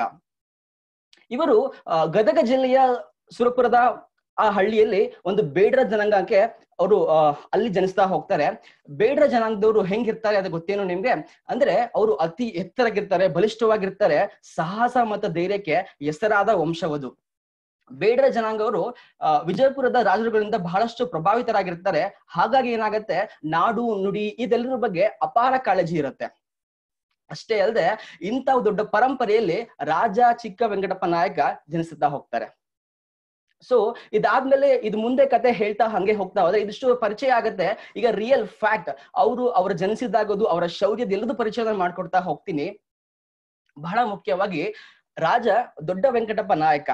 ಅವರು ಅವರು ತೀರಿ ಹೋದ್ಮೇಲೆ ಅವ್ರ ಮಗ ಆದ ಕೃಷ್ಣಪ್ಪ ನಾಯಕ್ ಅವರು ಆ ಆಡಳಿತ ತಗೊಳ್ತಾ ಹೋಗ್ತಾರೆ. ನಿರಂತರವಾಗಿ ಆಗ್ತಿದ್ದ ಮರಾಠರ ಆಡಳಿತ ಆಗ್ಬೋದು, ನಿಜಾಮರ ಒತ್ತಡದಿಂದ ಆಗ್ಬೋದು, ಅವ್ರು ಬಹಳಷ್ಟು ರೋಸಿ ಹೋಗಿರ್ತಾರೆ. ಎಷ್ಟು ಮಟ್ಟಿಗೆ ಅಂದ್ರೆ ಆ ಸುರಪುರದ ರಾಜ ರಾಜ್ಯ ಕಂಪ್ಲೀಟ್ ದಿವಾಳಿ ಆಗ್ಬಿಟ್ಟಿರತ್ತೆ. ಇದು ಜಾಸ್ತಿ ದಿನ ನಡೀತಾ ಹೋಗಲ್ಲ. ಅದಾದ್ಮೇಲೆ ಏನ್ ಆಗ್ತಾ ಹೋಗುತ್ತೆ ಅಂದ್ರೆ, ಅವ್ರಾದ್ಮೇಲೆ ಸೊ ರಾಜ ಎಷ್ಟು ನಡೀತಾ ಹೋಗುತ್ತೆ ಅಂತ ಬಂದಾಗ, ರಾಜ ದೊಡ್ಡ ವೆಂಕಟಪ್ಪ ನಾಯಕ ತೀರ್ ಹೋದ್ಮೇಲೆ ಕೃಷ್ಣಪ್ಪ ನಾಯಕ ಏನ್ ಆಡಳಿತ ತಗೊಳ್ತಾರೆ, ಅವರು ಸಾವಿರದ ಎಂಟುನೂರ ನಲ್ವತ್ ಒಂದರಲ್ಲಿ ತೀರ್ ಹೋಗ್ತಾರೆ. ತೀರು ಹೋದಾಗ ರಾಜ ಚಿಕ್ಕ ವೆಂಕಟಪ್ಪ ನಾಯಕ ಅವರ ವಯಸ್ಸು ಎಷ್ಟಾಗಿತ್ತು ಅಂದ್ರೆ ಸುಮಾರು ಅವರು ಏಳು ವರ್ಷದ ಕೂಸಾಗಿರ್ತಾರೆ ಅಷ್ಟೇ ಅದಾದಾಗ ಬ್ರಿಟಿಷ್, ಬ್ರಿಟಿಷರು ಅಂದ್ಕೊಳ್ತಾರೆ, ಇದು ಸರಿಯಾದ ಸಮಯ ನಾವು ಆಕ್ರಮಣ ಮಾಡ್ಕೊಳ್ಳಕ್ಕೆ ಸುರಪುರ ರಾಜ್ಯದ ಅಂತ. ಅವ್ರು ಏನ್ ಮಾಡ್ತಾರೆ, ಒಬ್ಬ ಅಧಿಕಾರಿಯನ್ನು ನೇಮಕ ಮಾಡ್ತಾರೆ. ಯತಕ್ಕಾಗಿ ಅಂದ್ರೆ, ಆ ಸುರಪುರದ ಎಲ್ಲ ರಾಜಕೀಯ ವ್ಯವಸ್ಥೆಗಳನ್ನು ನೋಡ್ಕೊಳ್ಳಕ್ಕೆ ಅಂತ ಒಬ್ಬ ಅಧಿಕಾರಿಯನ್ನ ನೇಮಕ ಮಾಡ್ತಾರೆ. ಆ ಅಧಿಕಾರಿ ಯಾರು ಅಂದ್ರೆ, ಮೇಡೋಸ್ ಟೈಲರ್. ಅವರ ಕೆಲಸ ಅಲ್ಲಿನ ರಾಜಕೀಯ ರಾಜಕೀಯ ವಿವರಗಳನ್ನು ನೋಡ್ಕೊಳ್ಳೋದು ಮಾತ್ರ ಅಲ್ಲದೆ ಆ ಪುಟ್ಟ ಬಾಲಕನಾಗಿದ್ದ ವೆಂಕಟಪ್ಪ ನಾಯಕನ್ನು ಕೂಡ ನೋಡ್ಕೊಳ್ಳೋದು ಅವರ ಒಂದು ಜವಾಬ್ದಾರಿ ಆಗಿರುತ್ತೆ. ಅವ್ರು ಎಷ್ಟೋ ಮಟ್ಟಿಗೆ ನೋಡ್ಕೊಳ್ತಾ ಹೋಗ್ತಾರೆ ಅಂದ್ರೆ ಮೇಡೋ ಸ್ಟೈಲರ್ ಆ ಕಾಲದಲ್ಲಿದ್ದ ಬ್ರಿಟಿಷ್ ಅಧಿಕಾರಿಗಳಿಂದ ಬಹಳ ವಿಭಿನ್ನನಾಗಿರ್ತಾನೆ. ಒಳ್ಳೆ ಸಂಸ್ಕೃತ ಇರುತ್ತೆ ಅವನ ಹತ್ರ. ಅದ್ ಮಾತ್ರ ಅಲ್ಲದೆ ಉತ್ತಮ ಲೇಖಕ ಆಗಿರ್ತಾನೆ. ಅಷ್ಟು ಮಾತ್ರ ಅಲ್ಲದೆ ಹೃದಯ ಸಂಪನ್ನ ಆಗಿರ್ತಾನೆ. ಅದರೊಟ್ಟಿಗೆ ಏನ್ ಅವ್ರು ಎಷ್ಟು ಮಟ್ಟಿಗೆ ವಾತ್ಸಲ್ಯದಿಂದ ವೆಂಕಟಪ್ಪ ನಾಯಕನ ಬೆಳೆಸ್ತಾ ಹೋಗ್ತಾನೆ ಅಂದ್ರೆ ಅಲ್ಲಿದ್ದ ಎಲ್ಲರ ಬೇಡ ಜನಾಂಗದ ವಿಶ್ವಾಸ ಗಳಿಸ್ತಾ ಹೋಗ್ತಾನೆ. ಸೊ ಇದು ಆಗ್ತಾ ಇದ್ದಂಗೆ ನೆಕ್ಸ್ಟ್ ಏನಾಗುತ್ತೆ? ಸ್ವಲ್ಪ ವರ್ಷಗಳ ಕಾಲ ಆದ್ಮೇಲೆ, ಆ, ಪ್ರೌಢ ವ್ಯವಸ್ಥೆಗೆ ಬರ್ತಾರೆ ವೆಂಕಟಪ್ಪ ನಾಯಕರು. ಅದಾದಾಗ ಅವ್ರಿಗೆ ಪಟ್ಟಾಭಿಷೇಕ ಆಗ್ತಾ ಹೋಗುತ್ತೆ. ಆ ಪಟ್ಟಾಭಿಷೇಕ ಆಗೋ ಟೈಮಲ್ಲಿ ಈ ಮೇಡೋಸ್ ಎಲ್ಲರ್ ಏನ್ ಬಂದಿರ್ತಾರೆ, ಅವರು ತುಂಬಾ ಚೆನ್ನಾಗಿಲ್ಲ ನಡ್ಸ್ಕೊಂಡು ಹೋಗಿರ್ತಾರೆ. ಅಂಡ್ ಅವರು ಪ್ರತಿಯೊಬ್ಬರ ಬೇಡ ಜನಾಂಗದ ವಿಶ್ವಾಸ ಗಳಿಸಿರೋ ಕಾರಣಕ್ಕೆ ಎಲ್ಲೂ ಕೂಡ ಬಹಳ ಪ್ರೀತಿ ಪಾತ್ರರಾಗಿರ್ತಾರೆ ಬಟ್ ಮೇಡೋಸ್ ಎಲ್ಲ ಜವಾಬ್ದಾರಿ ಅಲ್ಲಿಗೆ ಮುಗ್ದಿರುತ್ತೆ. ಎಲ್ಲಾ ಬೇಡ ಜನಾಂಗದ ಅವರ ಯೋಚನೆ ಹೆಂಗಾಗತ್ತೆ ಅಂದ್ರೆ ಚಿಂತಾಜನಕ ಹಾಕ್ತಾರೆ ಮುಂದೆ ನಮ್ ಕತೆ ಏನಾಗತ್ತೆ ಅಂತ. ಅದೇ ಟೈಮಲ್ಲಿ ಲಾರ್ಡ್ ಡೌಲ್ ಹೌ, ಡಾಲ್ ಹೌಸಿ ಅಲ್ಲಿ ಗವರ್ನರ್ ಆಗಿ ನೇಮಕ ಆಗಿರ್ತಾರೆ. ಅವರಿಂದ ಒಂದ್ ಪತ್ರ ಬರುತ್ತೆ, ಆ ಪತ್ರ ನೋಡಿದ ತಕ್ಷಣ ಹತ್ತೊಂಬತ್ತು ವರ್ಷದ ಆ ವೆಂಕಟಪ್ಪ ನಾಯಕರನ್ನು ಸಾಕಷ್ಟು ಕೋಪ ಬಂದ್ಬಿಡತ್ತೆ ಅವ್ರಿಗೆ. ಅಂತದ್ ಏನಿತ್ತು ಆ ಪತ್ರದಲ್ಲಿ ಅಂದ್ರೆ ಬ್ರಿಟಿಷ್ ಅವರು ಆದೇಶ ಮಾಡಿರ್ತಾರೆ ವೆಂಕಟಪ್ಪ ನಾಯಕ್ ಅವರು ಅವರ ಆ ಒಂದು ರಾಜ್ಯದನ್ನ ರಾಜಕೀಯ ವ್ಯವಸ್ಥೆಗೆ ಸಲಹೆಗಾರನಾಗಿ ಒಬ್ಬ ಬ್ರಿಟಿಷ್ ಅಧಿಕಾರಿಯನ್ನ ನೇಮಕ ಮಾಡ್ಕೊಳ್ಬೇಕು, ವರ್ಷಕ್ಕೆ ಇಪ್ಪತ್ತು ಸಾವಿರ ರೂಪಾಯಿ ಸಂಬಳ ಕೊಡ್ಬೇಕು ಅಂತ. ಅನಾವಶ್ಯಕವಾಗಿ ಯಾವಾಗ್ಲೂ ಮುಗ್ ಬ್ರಿಟಿಷರ ವಿರುದ್ಧ ಆಗ ವೆಂಕಟಪ್ಪ ನಾಯರಿಗೆ, ನಾಯಕರಿಗೆ ತುಂಬಾ ಕೋಪ ಬರ್ತಾ ಹೋಗುತ್ತೆ. ಅದನ್ನ ಹಂಗೆ ಅವ್ರು ಅದಕ್ಕೆ ಆ ಎಷ್ಟು ಆ ಒಂದು ಪತ್ರ ಬಂದಿರುತ್ತೋ ಅಷ್ಟೇ ಕಾರವಾಗಿ ಅದಕ್ಕೆ ಉತ್ತರ ಕೊಡ್ತಾರೆ. ಹತ್ತೊಂಬತ್ತು ವರ್ಷದ ವ್ಯಕ್ತಿ ಆ ಹುಡುಗ ಆ ಉತ್ತರ ಕೊಟ್ಟಿದ್ದಕ್ಕೆ, ಆ ಡಾಲ್ ಹೌಸಿ ಕೂಡ ತೆಪ್ಪಗಾಗ್ತಾರೆ. ಸೊ ಇಲ್ಲಿಗೆ ವೆಂಕಟಪ್ಪ ನಾಯಕನ ಮೊದಲನೇ ತಿರುಗೇಟ್ ಶುರು ಆಗ್ತಾ ಹೋಗುತ್ತೆ ಬ್ರಿಟಿಷರ ವಿರುದ್ಧ. ಅದಾದ ನಂತರ ಸಕಲ ಸಿದ್ಧತೆ ಮಾಡ್ಕೊಳ್ತಾ ಹೋಗ್ತಾನೆ. ಬ್ರಿಟಿಷರನ್ನ ಅದು ಸುತಾರಾಮ್ ಏನೇ ಆಗ್ಲಿ ಅವ್ರನ್ನ ಭಾರತದಿಂದ ಆಚೆ ಹಾಕ್ಲೇಬೇಕು ಅಂತ ಸಿದ್ಧತೆ ಮಾಡ್ಕೊಳ್ತಾ ಹೋಗ್ತಾನೆ. ಹೈದರಾಬಾದ್ ಸುತ್ತಮುತ್ತ ಇರೋ ರಫೇಲ್ ಆಗ್ಬೋದು ಅರಬ್ ಸೈನಿಕರನ್ನ ಒಂದ್ಗೂಡಿಸ್ತಾ ಹೋಗ್ತಾರೆ. ಸೊ ಇದು ಆಗ್ತಾ ಆಗ್ತಾ ಇದ್ದಂಗೆ ಏನಾಗತ್ತೆ ನಾಯಕಪ್ಪ ಸೊ ವೆಂಕಟಪ್ಪ ನಾಯಕ ಎಲ್ಲ ಸಿದ್ಧತೆ ಮಾಡ್ಕೊಳ್ತಾ ಇದ್ದಂಗೆ ಅವ್ರಿಗೆ ಒಂದ್ ಪತ್ರ ಬರುತ್ತೆ, ಯಾರಿಂದ ಅಂದ್ರೆ ನಾನಾ ಸಾಹೇಬ್ ಕಡೆಯಿಂದ. ಸಾವಿರದ ಎಂಟುನೂರ ಐವತ್ತೇಳು, ಅದಾಗ್ಲೇ ಉತ್ತರ ಉತ್ತರ ಭಾರತದ ಕಡೆಯಿಂದ ಸ್ವಾತಂತ್ರ್ಯ ಹೋರಾಟ ಎಲ್ಲವೂ ಕಿತ್ತು ಶುರುವಾಗಿರ್ತದೆ. ನಾನಾ ಸಾಹೇಬ್ ಕಡೆಯಿಂದ ಒಂದು ಪತ್ರ ಬರುತ್ತೆ, ಆ ಪತ್ರ ಇವ್ರಿಗೆ ಎಷ್ಟು ಖುಷಿ ಕೊಡುತ್ತೆ ಅಂದ್ರೆ ಇವರಿಂದ ಶಕ್ತಿ ಇನ್ನಷ್ಟು ಜಾಸ್ತಿ ಆಗ್ತಾ ಹೋಗುತ್ತೆ. ಅದರೊಟ್ಟಿಗೆ ನರಗುಂದದ ಬಾಬಾ ಸಾಹೇಬ್ ಆಗ್ಬೋದು, ರಾಯಚೂರು ಸುತ್ತಮುತ್ತಲಿನ ಜಮೀನ್ದಾರ ಆಗ್ಬೋದು ಎಲ್ಲರೂ ಕೂಡ ಅವ್ರೊಟ್ಟಿಗೆ ಸೇರ್ಕೊಳ್ತಾ ಹೋಗ್ತಾರೆ. ಒಟ್ಟಿಗೆ ಸೇರ್ಕೊಳ್ತಾ ಸೇರ್ಕೊಳ್ತಾ ಏನಾಗತ್ತೆ ಅಂದ್ರೆ ಇವರ ಶಕ್ತಿ, ಇವರ ಆಕ್ರೋಶ ಬ್ರಿಟಿಷರಿಂದ, ಬ್ರಿಟಿಷರನ್ನು ಭಾರತದಿಂದ ಆಚೆ, ಆಕೆ ಆಕೆ, ಆಚೆ, ಆಕೆ ಆಗ್ತೀವಿ ಅನ್ನೋ ನಂಬಿಕೆ ಇನ್ನಷ್ಟು ಜಾಸ್ತಿ ಆಗ್ತಾ ಹೋಗುತ್ತೆ. ಇದಾಗ್ತಾ ಇದ್ದಂಗೆ ಇನ್ನೊಂದ್ ಕಡೆ ಬ್ರಿಟಿಷರು ಅವರೊಂದು ಪತ್ರದಲ್ಲಿ ಶೇರ್ ಮಾಡ್ಕೊಳ್ತಾರೆ. ಡೇವಿಡ್ಸನ್ ಅನ್ನೋರು ಭಾರತ ಸರ್ಕಾರಕ್ಕೆ ಒಂದು ಪತ್ರ ಬರ್ದಿರ್ತಾರೆ. ನಮ್ಗೆ ಅದರಲ್ಲಿ ಏನು ಗೊತ್ತಾಗತ್ತೆ ಅಂತ ಬಂದಾಗ ಇದೆಲ್ಲ ಏನು ತಯಾರಾಗ್ತಿತ್ತು? ನಾನಾ ಸಾಹೇಬಿಂದ ಪತ್ರ ಬಂದಿದ್ದಾಗ್ಬೋದು, ಇವರೆಲ್ಲ ಏನೆಲ್ಲ ಸೈನ್ಯ ನಡೆಸ್ತಾ ಇದ್ರು ಪ್ರತಿ ಒಂದು ಬ್ರಿಟಿಷರಿಗೆ ಗುಪ್ತಚರರ ಮುಖಾಂತರ ಗೊತ್ತಾಗ್ತಿತ್ತಂತೆ. ಇಷ್ಟೆಲ್ಲ ಆಗ್ತಿತ್ತು. ಅಂದ್ರೆ ಬ್ರಿಟಿಷರಿಗೆ ಡೌಟ್ಸ್ ಬರ್ತಾ ಇತ್ತು ಬಟ್ ಯಾವುದು ಕೂಡ ಫ್ಯಾಕ್ಟ್ ಸಿಗ್ತಾ ಇರ್ಲಿಲ್ಲ. ಇದಾದಾಗ ಅಚಾನಕ್ ಆಗಿ ಒಂದು ಘಟನೆ ಆಗತ್ತೆ. ಅದರಿಂದ ಅವ್ರಿಗೆ ಅವ್ರ ಡೌಟ್ಸ್ ಎಲ್ಲವೂ ಕೂಡ ನಿಜ ಅಂತ ಪ್ರೂವ್ ಆಗ್ಬಿಡತ್ತೆ. ಅದೇನು ಅಂದ್ರೆ ಬೆಳಗಾವಿಯಲ್ಲಿ ಇಪ್ಪತ್ತೊಂಬತ್ತನೇ ಬೆಟಾಲಿಯನಲ್ಲಿ ಜಮಾದಾರರಾದ ಅಲ್ಲೊಬ್ಬ ಯಾರೋ ಮಾತಾಡ್ತಾ ಇರ್ತಾನೆ, ಅದನ್ನ ಬ್ರಿಟಿಷರ ಗುಪ್ತಚರರಾದ ಮಿಲಿಟರಿ ಅಧಿಕಾರಿಗಳು ಗಮನಿಸ್ಬಿಡ್ತಾರೆ, ಅವನ ಸೆರೆ ಹಿಡಿದು ಬಿಡ್ತಾರೆ ಅವನ ಹೆಸರು ಏನಂದ್ರೆ ಮಹಿಪಾಲ್ ಸಿಂಗ್ ಅಂತ. ಅವನ ವಿಚಾರಣೆ ಮಾಡ್ತಾರೆ. ಅವನ್ನ ವಿಚಾರಣೆ ಮಾಡಿದಾಗ ಅದಷ್ಟು ಎಷ್ಟು ಮಾಹಿತಿಗಳು ಸಿಗದೆ ಹೋದ್ರು ಅವ್ರಿಗೊಂದು ಕಡಾಖಂಡಿತವಾಗಿ ಗೊತ್ತಾಗತ್ತೆ. ಏನಂದ್ರೆ ನಾವು ಹೆಂಗೆ ಗುಪ್ತಚರನ್ನ ಎಲ್ಲ ಕಡೆ ಬಿಟ್ಟು ವಿಷಯವನ್ನ ಸಂಗ್ರಹಣೆ ಮಾಡ್ತಿದೀವಿ, ಹಂಗೆ ವೆಂಕಟಪ್ಪ ನಾಯಕ ಕೂಡ ಅವನ ಬುದ್ಧಿವಂತಿಕೆ ತೋರಿಸ್ಕೊಂಡು ಎಲ್ಲ ಕಡೆ, ಎಲ್ಲ ಠಾಣೆಗಳಲ್ಲಿ ಅವನ ಗುಪ್ತಚರನ ಇಟ್ಟಿದ್ದಾನೆ ಅಂತ. ಇದಾಗ್ತಾ ಇದ್ದಂಗೆ ಬ್ರಿಟಿಷರು ತುಂಬಾ ಸ್ಟ್ರಾಂಗ್ ಆಗ್ತಾ ಹೋಗ್ತಾರೆ. ಮತ್ತೆ ಅವ್ರು ಏನ್ ಮಾಡ್ತಾರೆ ಅಂದ್ರೆ ಎಲ್ಲ ಸೈನಿಕರಿಗೂ ಒಂದು ಭಯ ಬೀಳ್ಲಿ ಅಂತ ಈ ಮಹಿಪಾಲ್ ಸಿಂಗ್ ಅನ್ನ ಶೂಟ್ ಮಾಡ್ತಾರೆ. ಶೂಟ್ ಮಾಡ್ತಾರೆ ಹೆಂಗೆ ಅಂದ್ರೆ ಎಲ್ಲರ ಕಣ್ ಮುಂದೆ ಶೂಟ್ ಮಾಡ್ತಾರೆ, ಎಲ್ರಿಗೂ ಒಂದು ಭಯ ಬರ್ಲಿ ಅಂತ. ಇದೆಲ್ಲದೂ ವೆಂಕಟಪ್ಪನಿಗೆ ಗೊತ್ತಾಗ್ತಿತ್ತು, ಆದ್ರೆ ಅವನ್ ಯಾವತ್ತು ಸ್ಟಾಪ್ ಮಾಡ್ತಿರ್ಲಿಲ್ಲ ಅವ್ನ ಸಿದ್ಧತೆಯನ್ನ. ಬ್ರಿಟಿಷರಿಗೆ ಎಲ್ಲವೂ ಗೊತ್ತಾಗ್ತಿದ್ರು, ಅವರು ಸರಿಯಾದ ಸಮಯ ಕಾಯ್ತಾ ಇರ್ತಾರೆ ವೆಂಕಟಪ್ಪನ ಹಿಡಿಯೋಕೆ. ಇದು ಆಗ್ತಾ ಇದ್ದಂಗೆ ಏನಾಗ್ತಾ ಹೋಗುತ್ತೆ ಅಂದ್ರೆ ಸಾವಿರದ ಎಂಟುನೂರ ಐವತ್ತೇಳು ಆ ಸಮಯದಲ್ಲಿ ಆಲ್ಮೋಸ್ಟ್ ನಮ್ಗೆಲ್ಲ ಗೊತ್ತಿರೋ ಫಸ್ಟ್ ವಾರ್ ಆಫ್ ಇಂಡಿಪೆಂಡೆನ್ಸ್ ಏನ್ ಶುರು ಆಗ್ತಿತ್ತು ನಾನಾ ಸಾಹೇಬ್ ಅವ್ರ ಕಡೆಯಿಂದ? ಉತ್ತರದಲ್ಲಿ ನಾನಾ ಸಾಹೇಬ್ ರಣತಂತ್ರಗಳು ಹೆಂಗ್ ಆಗ್ತಿತ್ತು ವೆಂಕಟಪ್ಪನ ಆಸೆ ಹೆಂಗಿತ್ತು ಅಂದ್ರೆ ದಕ್ಷಿಣದಲ್ಲಿ ನಾನ್ ಆತರ ಆಗ್ಬೇಕಂತ ಅವ್ರ ಆಸೆ ಇತ್ತು. ಅದರೊಟ್ಟಿಗೆ ಅವರ ಸಹಾಯ ಅವ್ರ ಸಹಾಯ ಮಾಡೋಕಂತ ನರಗುಂದ ಬಾಬಾ ಸಾಹೇಬ್ ಆಗ್ಬೋದು ಸೊ ಈ ತರ ಸಾಕಷ್ಟು ಜಮೀನ್ದಾರರು ಎಲ್ಲೂ ಸೇರ್ಕೊಳ್ತಾ ಹೋಗ್ತಾರೆ. ಒಂದಿನ ಏನ್ ಮಾಡ್ತಾನೆ, ಈ ವೆಂಕಟಪ್ಪ ನಾಯಕರು, ಬಸಲಿಂಗಪ್ಪ ಒಬ್ಬ ವ್ಯಕ್ತಿಗೆ ಅವ್ರನ್ನ ಸೂಚನೆ ಮಾಡ್ತಾರೆ. ಸೊ ಒಂದು ಕೋಟೆಯಲ್ಲಿ ಎಲ್ಲ ಮದ್ದು ಮದ್ದು ಗುಂಡುಗಳು ಆಗ್ಬೋದಿಲ್ಲ, ಶಸ್ತ್ರಗಳನ್ನ ಸಂಗ್ರಹಣೆ ಮಾಡ್ತಿರ್ತಾರೆ. ಬಟ್ ಆದ್ರೆ ಗುಪ್ತಚರ ಮುಖಾಂತರ ಬ್ರಿಟಿಷರಿಗೆ ಅದು ಕೂಡ ಗೊತ್ತಾಗ್ಬಿಡತ್ತೆ. ಅದು ಗೊತ್ತಾಗ್ತಿದ್ದಂಗೆ ಅವ್ರು ಏನ್ ಮಾಡ್ತಾರೆ ಅಂದ್ರೆ, ಆ ಬಸಲಿಂಗಪ್ಪ ಮತ್ತು ಮಕ್ಕಳನ್ನ ಎಲ್ರು ಕೂಡ ಅಲ್ಲೂ ಕೂಡ ಅವ್ರನ್ನ ಸೆರೆ ಹಿಡಿದ್ಬಿಟ್ಟು ಆ ಒಂದು ಏನ್ ಕೋಟೆ ಇತ್ತು, ಎಲ್ಲ ಮದ್ದುಗುಂಡು ಸಂಗ್ರಹಣೆ ಆಗಿತ್ತು ಅದನ್ನ ನೆಲಸಮ ಮಾಡ್ತಾರೆ, ಎಲ್ಲ ಶಸ್ತ್ರಾಸ್ತ್ರಗಳನ್ನ ವಶಪಡಿಸ್ಕೊಂಡ್ಬಿಡ್ತಾರೆ. ಇದು ಆಗ್ತಿದ್ದಂಗೆ ಅಲ್ಲಿಗೆ ಮೊದಲಿನ ಪ್ಲಾನ್ ವೆಂಕಟಪ್ಪನವ್ರದ್ದು ಅಲ್ಲಿಗೆ ನೆಲ ಕಚ್ಚುತ್ತಾ ಹೋಗುತ್ತೆ. ಇದಾದ್ಮೇಲೆ ಇದು ಮುಂದುವರಿತಾ ವರಿತಾ ಏನಾಗತ್ತೆ ಅಂದ್ರೆ ಒಂದಿನ ಸಾವಿರದ ಎಂಟುನೂರ ಐವತ್ತೇಳರ ಜನವರಿ ಎಂಟರಂದು ಬ್ರಿಟಿಷರಿಗೆ ಒಂದು ಡೌಟ್ಸ್ ಕ್ಲಿಯರ್ ಆಗತ್ತೆ. ಏನಂದ್ರೆ ಹೈದರಾಬಾದ್ ಅಲ್ಲಿ ಗುಪ್ತಚರರ ಮುಖಾಂತರ ರೋಹಿಲ್ ಮತ್ತು ಅರಬ್ ಸೈನಿಕರನ್ನ, ಬಾಡಿಗೆ ಸೈನಿಕರನ್ನ ಒಟ್ಟಿಗೂಡಿಸ್ತಾ ಇದ್ದಾರೆ ಅದು ಕ್ಲಿಯರ್ ಆಗತ್ತೆ. ಹಾಗಾಗಿ ಬ್ರಿಟಿಷ್ ಅಧಿಕಾರಿಗಳು ಏನ್ ಮಾಡ್ತಾರೆ ಅಂದ್ರೆ, ಕ್ಯಾಂಬಲ್ ಎನ್ನುವ ಬ್ರಿಟಿಷ್ ಅಧಿಕಾರಿಗೆ ಆದೇಶ ನೀಡ್ತಾರೆ. ಏನಂದ್ರೆ ಹೋಗ್ಬಿಟ್ಟು ನೀವು ವಿಚಾರಣೆ ಮಾಡಿ ವೆಂಕಟಪ್ಪ ನಾಯಕರನ್ನ ಅಂತ. ಸೊ ಆ ಕ್ಯಾಂಬಲ್ ಅಧಿಕಾರಿ ವಿಚಾರಣೆ ಮಾಡಕ್ ಬರ್ತಾರೆ, ಬಟ್ ವೆಂಕಟಪ್ಪ ನಾಯಕ ಇಪ್ಪತ್ನಾಲ್ಕರ ತರುಣನಾಗಿರ್ತಾನೆ. ಆದ್ರೂ ಅವನ ಎಷ್ಟು ಚಾಣಕ್ಷತನ ಇರುತ್ತೆ ಅಂದ್ರೆ, ಅವನು ಯುದ್ಧಕ್ಕೆ ಎಲ್ಲ ರೀತಿ ಸಜ್ಜಾಗಿರ್ತಾನೆ ಬಟ್ ಅವನ ಆನ್ಸರ್ ಹೆಂಗಿರುತ್ತೆ ಅಂದ್ರೆ, ಎಲ್ಲೂ ಕೂಡ ಸಣ್ಣ ಸುಳುವು ಬರಲ್ಲ, ಯುದ್ಧಕ್ಕೆ ರೆಡಿ ಆಗಿದ್ದಾನೆ ಅಂತ. ಆ ತರ ಆನ್ಸರ್ ಕೊಡ್ತಾ ಇರ್ತಾನೆ. ಕ್ಯಾಂಬಲ್ ಪ್ರಶ್ನೆ ಮಾಡ್ತಾನೆ, ನಮ್ಗೆ ಗುಪ್ತಚರ ಮುಖಾಂತರ ವರದಿ ಬಂದಿದೆ, ನೀವು ಹೈದರಾಬಾದ್ ಸೈನಿಕರನ್ನ ಒಗ್ಗೂಡಿಸ್ತಾ ಇದ್ದೀರಾ ಅಂತ. ಅದಕ್ಕೆ ವೆಂಕಟಪ್ಪ ಉತ್ತರ ಕೊಡ್ತಾರೆ, ಏನಂದ್ರೆ, ನಾನೇನು ಹಾಗೆ ಮಾಡಿಲ್ವಲ್ಲ? ಅವ್ರಾಗೆ ಬಂದು ಸೇರ್ಕೊಳ್ತಿದ್ರೆ ನಾನೇನು ಮಾಡ್ಲಿ ಅಂತ ಹಂಗೆ ಜಾರ್ಕೊಂಡ್ಬಿಡ್ತಾನೆ. ಜಾರ್ಕೊಂಡ್ ಅಷ್ಟೇ ಅಲ್ಲ, ಆ ಕ್ಯಾಂಬಲ್ಗೆ ಯಾವ ರೀತಿ ಹೆದರಿಕೆ ಇಡ್ತಾನೆ ಅಂದ್ರೆ, ಅವ್ರು ಹೇಳ್ತಾರೆ ನಮ್ಮ ಬೇಡ್ರ ಜನಾಂಗ ಬೇಡ್ರ ಜನಾಂಗ ವ್ಯ- ವ್ಯಕ್ತಿಗಳಿಗೆ ಕ್ಯಾಂಬಲ್ನ ಕಂಡ್ರೆ ಬಹಳಷ್ಟು ಕೋಪವಿದೆ. ಅವ್ರು ಕಾಯ್ತಾ ಇದ್ದಾರೆ. ಅಕಸ್ಮಾತ್ ನೀವೇಂದ್ರೆ ಅವ್ರ ಕೈಗೆ ಸಿಕ್ಕಿದ್ರೆ ಜೀವಂತವಾಗಿ ಹೋಗೋ ಪ್ರಶ್ನೆಯೇ ಇಲ್ಲ ಅಂತ ಹೇಳ್ತಾರೆ. ಅದನ್ನ ಕೇಳಿದ್ದ ಕ್ಯಾಂಬಲ್ಗೆ ಕಕ್ಕಾ ಬಿಕ್ಕಿ ಆಗ್ಬಿಡ್ತಾರೆ. ಗಂಟು ಮುಟ್ಟೆ ತಕ್ಷಣ ಕೊಟ್ಟು ವಾಪಸ್ ಹೋಗ್ಬಿಡ್ತಾರೆ. ಅಲ್ಲಿ ಹೋಗಿ ಉತ್ತರ ಹೇಳ್ತಾರೆ ನಂಗೆ ಅಂತ ಪುರಾವೆ ಏನು ಸಿಕ್ಕಿಲ್ಲ ಅಂತ. ಸೊ ಇದೆಲ್ಲದೂ ಕೂಡ ಆಗ್ತಾ ಹೋಗುತ್ತೆ. ಇದೆಲ್ಲದೂ ಆಗ್ತಾ ಇದ್ದಂಗೆ ನೆಕ್ಸ್ಟ್ ಎಷ್ಟು ಮಟ್ಟಿಗೆ ಬ್ರಿಟಿಷರಿಗೆ ಭಯ ಇರುತ್ತೆ ವೆಂಕಟಪ್ಪ ನಾಯಕರಿಗೆ, ವೆಂಕಟಪ್ಪ ನಾಯಕನ ನೋಡಿದ್ರೆ ಅಂದ್ರೆ ಅವ್ರನ್ನ ಮಾತಾಡ್ಸು ಕೂಡ ಹೋಗ್ತಿರಲ್ಲ. ಅವ್ರಿಗೆ ಗೊತ್ತಿತ್ತು, ಅಕಸ್ಮಾತ್ ನನ್ನ ಏನಾದ್ರು ವೆಂಕಟಪ್ಪ ನಾಯಕನ ಮುಟ್ಟಿದ್ರೆ ಬೇಡ್ರ ಜನಾಂಗದವರು ತಿರುಗಿ ಬೀಳ್ತಾರೆ. ಅಂಡ್ ಒನ್ಸ್ ಅವ್ರನ್ನ ಫೇಸ್ ಮಾಡಕ್ ಎಷ್ಟಿರ್ಬೇಕು ಅಂದ್ರೆ ಎಂತದ ಧೈರ್ಯ ಬೇಕಾಗಿತ್ತು. ಆ ರೀತಿ ಸ್ಟ್ರಾಂಗ್ ಆಗಿದ್ರು ಬೇಡ್ರ ಜನಾಂಗದವರು. ಇದೆಲ್ಲ ಗೊತ್ತಿತ್ತು ಬ್ರಿಟಿಷರಿಗೆ ಆದ್ರೂ ಒಂದ್ ಕ್ಷಣ ಅನಿವಾರ್ಯ ಆಯ್ತು. ಅನಿವಾರ್ಯ ಆದಾಗ ಏನ್ ಮಾಡ್ತಾರೆ? ಸಾಕಷ್ಟು ದೊಡ್ಡ ಸೇನೆ ಕಟ್ಕೊಂಡು ಅದು ಒಂದು ಮುಂಜಾನೆಯ ಸಮಯ. ಇನ್ನೂ ಕೂಡ ಸೂರ್ಯ ಉದಯ ಕೂಡ ಆಗಿರ್ಲಿಲ್ಲ. ಆಗ್ಲೇ ನ ಸಲಹೆಯಂತೆ ಒಬ್ಬ ಅಧಿಕಾರಿ ಒಬ್ಬ ಅಧಿಕಾರಿ ಏನ್ ಮಾಡ್ತಾನೆ? ಎಲ್ಲ ಸೇನೆಯನ್ನು ತಗೊಂಡು ಹೋಗಿ, ಬ್ರಿಟಿಷ್ ಅಧಿಕಾರಿ ತಗೊಂಡೋಗಿ ಸುರಪುರದ ಕೋಟೆ ಸುತ್ತ ನಿಂತ್ಕೊಳ್ತಾನೆ. ಇನ್ನ ಬೆಳಕು ಕೂಡ ಆಗಿಲ್ಲ ಬಟ್ ಈ ಸುದ್ದಿ ಬೇಡ ಸೈನಿಕರಿಗೆ ಗೊತ್ತಾಗ್ಬಿಡತ್ತೆ. ಸುರಪುರದ ಸೇನಾಪಡೆ ಗೊತ್ತಾಗ್ಬಿಡತ್ತೆ. ಸುರಪುರದ ಸೇನೆಯ ಸೈನಿಕರು ಎಷ್ಟು ಮಟ್ಟಿಗೆ ತಯಾರಾಗಿದ್ರು ಅಂದ್ರೆ ಅವ್ರು ಯಾವ ಕ್ಷಣ ಯುದ್ಧ ಬೇಕು ಅಂದ್ರೆ ಬಂದ್ ಯುದ್ಧ ಮಾಡ್ತಿದ್ರು. ಅಷ್ಟು ಮಟ್ಟಿಗೆ ತಯಾರಾಗಿರ್ತಾರೆ. ಅವ್ರು ಯುದ್ಧ ಮಾಡಕ್ ಸ್ಟಾರ್ಟ್ ಮಾಡ್ತಾ ಹೋಗ್ತಾರೆ. ಸ್ಟಾರ್ಟ್ ಮಾಡಿ ಮಾಡಿ ಯುದ್ಧ ಹೆಂಗಾಗತ್ತೆ ಅಂದ್ರೆ ಈ ಕಡೆ ಆಕ್ರಮಣಕಾರಿ ಸೈನಿಕರಿದ್ದಾರೆ ಬ್ರಿಟಿಷ್ ಕಡೆ. ಅಷ್ಟಿದ್ರು ಕೂಡ ನಮ್ಮ ಬೇಡ ಜನಾಂಗದವರು ಯಾವ ರೀತಿ ಯುದ್ಧ ಮಾಡ್ತಾರೆ ಅಂದ್ರೆ ಬ್ರಿಟಿಷ್ ಸೈನ್ಯದವರು ತತ್ತರಿಸಿ ಹೋಗ್ತಾರೆ. ಹಂಗ ಹಾಕ್ತಿದ್ದಂಗೆ ಬಟ್ ಬ್ರಿಟಿಷ್ ಸೈನ್ಯ ಇನ್ನಷ್ಟು ಜನ ಬಂದು ಸೇರ್ಕೊಳ್ತಾ ಹೋಗ್ತಾರೆ. ಅದು ಸೇರ್ಕೊಳ್ತಾ ಸೇರ್ಕೊಳ್ತಾ ಹೋಗಿದ್ದಂಗೆ ಏನ್ ಆಗ್ತಾ ಹೋಗುತ್ತೆ ಅಂದ್ರೆ, ಸ್ನೇಹಿತರನ್ನ ನಿಂಗೆ ಹೇಳ್ತೀನಿ ಇವೆಲ್ಲ ಕಲ್ಪನೆ ಮಾಡ್ಕೊಳ್ತಾ ಹೋಗಿ ಜಸ್ಟ್ ಕೇಳಿಸ್ಕೊಂಡ್ಬೇಡಿ. ಎಲ್ಲ ಇನ್ನಷ್ಟು ಸೈನಿಕರು ಸೇರ್ಕೊಳ್ತಾ ಹೋಗ್ತಾರೆ. ಹಂಗ ಆದಾಗ ಏನಾಗುತ್ತೆ, ಈ ಕಡೆ ಸುರಪುರದ ಸೇನೆಯ ಕೋಟೆಯ ಅತಿ ಎತ್ತರದ ಪ್ರದೇಶಕ್ಕೆ ಎಲ್ಲಾ ಸೈನಿಕರು ಹೋಗ್ಬಿಡ್ತಾರೆ. ಅಲ್ಲಿ ಹೋದಾಗ ಮರುದಿನ ಮತ್ತೆ ಯುದ್ಧ ಶುರುವಾಗುತ್ತೆ. ಕ್ಯಾಪ್ಟನ್ ಮೇಜರ್ ಯುಜಿಸ್ ಅಂತ. ಆ ವ್ಯಕ್ತಿ ಏನ್ ಮಾಡ್ತಾನೆ?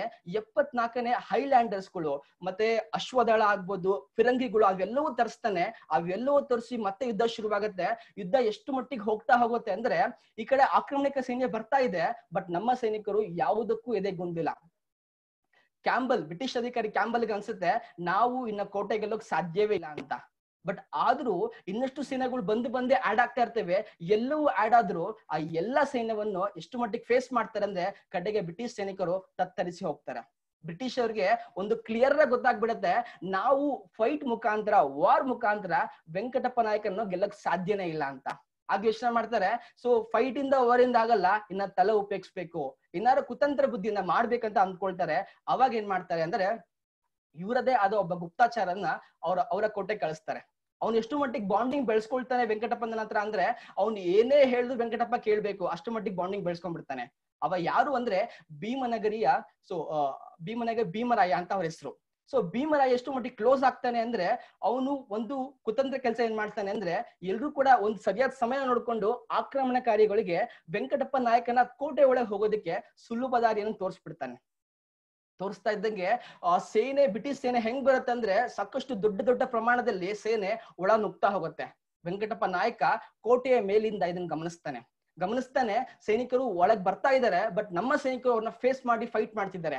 ಬಟ್ ಆ ಭೀಮರಾಯ ಏನ್ ಮಾಡ್ತಾನೆ ಅಂದ್ರೆ ಹೋಗ್ಬಿಟ್ಟು ಎಲ್ಲಾ ಸೈನಿಕರಿಗೂ ಹೇಳ್ತಾನೆ, ನಮ್ಮ ರಾಜ ವೆಂಕಟಪ್ಪ ಆಗ್ಲೇ ಬಂಧಿತ ಆಗ್ಬಿಟ್ಟಿದ್ದಾನೆ. ನಾವು ಫೈಟ್ ಮಾಡೋದಿನ ವೇಸ್ಟ್ ಅಂತ ಹೇಳ್ತಾನೆ. ಅದೇ ರೀತಿ ಬಂದ್ ವೆಂಕಟಪ್ಪನಿಗೆ ಹೇಳ್ತಾನೆ, ನಮ್ಮ ಸೈನ್ಯ ಸೋಪ್ ಹೋಗ್ಬಿಟ್ಟಿದೆ. ನೀವೀಗ ಇಲ್ಲಿಂದ ಆಚೆ ಹೋಗೋದು ಒಂದೇ ಒಂದ್ ದಾರಿ ಅಂತ ಹೇಳ್ತಾನೆ. ಇನ್ಫ್ಯಾಕ್ಟ್ ರಾಜನ್ಗೂ ಅದು ಸರಿ ಅನ್ಸುತ್ತೆ. ಯಾಕಂದ್ರೆ ನಾನೀಗ ಪ್ರಾಣ ಉಳಿಸ್ಕೊಂಡು ಆಚೆ ಹೋಗಿ ಮತ್ತಷ್ಟು ದೊಡ್ಡ ಸೈನ್ಯ ಕಟ್ಬಿಟ್ಟು ಮತ್ತೆ ಬಂದು ಫೈಟ್ ಮಾಡೋಣ ಅಂತ ನಿರ್ಧಾರ ಮಾಡಿ ಅವತ್ತು ರಾತ್ರಿನೇ ವೆಂಕಟಪ್ಪ ನಾಯಕ ಸುರಪುರದ ಕೋಟೆ ಬಿಟ್ಟು ಹೋಗ್ತಾನೆ. ಆದ್ರೆ ಅವನು ಒಬ್ಬನ ಜೊತೆ ಕರ್ಕೊಂಡು ಹೋಗ್ತಾನೆ. ಅದ್ ಯಾರು ಆಗಿರ್ತಾರೆ ಅಂದ್ರೆ ಅದು ಮತ್ತೆ ಭೀಮರಾಯನ ಆಗಿರ್ತಾನೆ. ಸೊ ವೆಂಕಟಪ್ಪ ನಾಯಕ ಕೋಟೆಯಿಂದ ಆಚೆ ಬಂದು. ತನ್ನನ್ನು ಚೆನ್ನಾಗಿ ಪಾಲನೆ ಮಾಡಿದ್ದ ಮೆಡ್ರೋಸ್ ಮೆಡ್ರೋಸ್ ಸ್ಟೈಲರ್ನ ಹುಡುಕಾಟದಲ್ಲಿ ಮತ್ತೆ ಹೋಗ್ತಾನೆ. ಅವನ್ನ ಭೇಟಿ ಮಾಡೋಣ ಅಂತ. ಅವನು ಗೊತ್ತಾಗತ್ತೆ, ಅವನು ಇವತ್ತು ಅವನಾಗ ಹೈದರಾಬಾದ್ ಅಲ್ಲಿ ಇರ್ತಾನೆ ಅಂತ. ಸೊ ಹೈದರಾಬಾದ್ ಅಲ್ಲಿ ಕಡೆ ಹೋದಾಗ ಅಲ್ಲಿ ಆ ಅರಬ್ ಮತ್ತೆ ರಫೇಲ್ ಸೈನಿಕರನ್ನ ಒಟ್ಟಿಗೂಡಿಸಿ ಆದ್ಮೇಲೆ ಅವ್ರನ್ನ ಭೇಟಿ ಮಾಡೋಣ ಅಂತ ಅಂದ್ಕೊಳ್ತಾನೆ. ಸರಿಯಾದ ಸಮಯ ನೋಡಿ ಭೀಮರಾಯ ಏನ್ ಮಾಡ್ತಾನೆ ಅಂದ್ರೆ ವೆಂಕಟಪ್ಪ ನಾಯಕ ಏನೆಲ್ಲ ಹಣ ಮತ್ತೆ ಚಿನ್ನಗಳ ತಂದಿದ್ದ ಆಚೆಗಡೆ, ಅವ್ನಿಗೆ ಯೂಸ್ ಆಗತ್ತೆ ಈ ಸೈನ್ಯ ಕಟ್ಟೋಕೆ ಅಂತ ಅದನ್ನ ಲಪಟಾಯಿಸಿ ತಡೋ ರಾತ್ರಿ ಅವನ್ನ ಕೈಬಿಟ್ಟು ಹೋಗ್ಬಿಡ್ತಾನೆ. ಸೊ ವೆಂಕಟಪ್ಪ ನಾಯಕ ಎಲ್ಲವನ್ನು ಕಳ್ಕೊಂಡು ಬೀದಿಗೆ ಬಂದ್ಬಿಡ್ತಾನೆ. ಬೀದಿಗೆ ಬಂದು ಅವ್ರ ಆದ್ರೂ ಸುಮ್ನಿರಲ್ಲ, ಅವನ ಹುಮ್ಮಸ್ ಎಷ್ಟು ಮಟ್ಟಿಗೆ ಇರುತ್ತೆ ಅಂದ್ರೆ ಏನಾದ್ರೂ ಮಾಡಿ ಬ್ರಿಟಿಷ್ ವಿರುದ್ಧ ಅವ್ರು ಆಡ್ಲೇಬೇಕಂತ ಅಂದ್ಕೊಂಡಿರ್ತಾರೆ. ಅದ್ ಆಗ್ತಾ ಇದ್ದಂಗೆ ಎಲ್ಲ ಸೈನ್ಯ ಮತ್ತೆ ಹೊಗುಡ್ಸಕ್ ಪ್ಲಾನ್ ಮಾಡ್ತಾ ಇರ್ತಾನೆ. ಒಂಟಿಯಾಗಿದ್ದ ನೋಡಿ, ಯಾರೋ ಒಬ್ಬ ಗುಪ್ತಚರ ಬ್ರಿಟಿಷ್ ಅಧಿಕಾರಿಗೆ ತಿಳಿಸ್ಬಿಡ್ತಾರೆ, ವೆಂಕಟಪ್ಪ ನಾಯಕ ಹೈದರಾಬಾದ್ ಅಲ್ಲಿ ಇದ್ದಾರೆ ಅಂತ.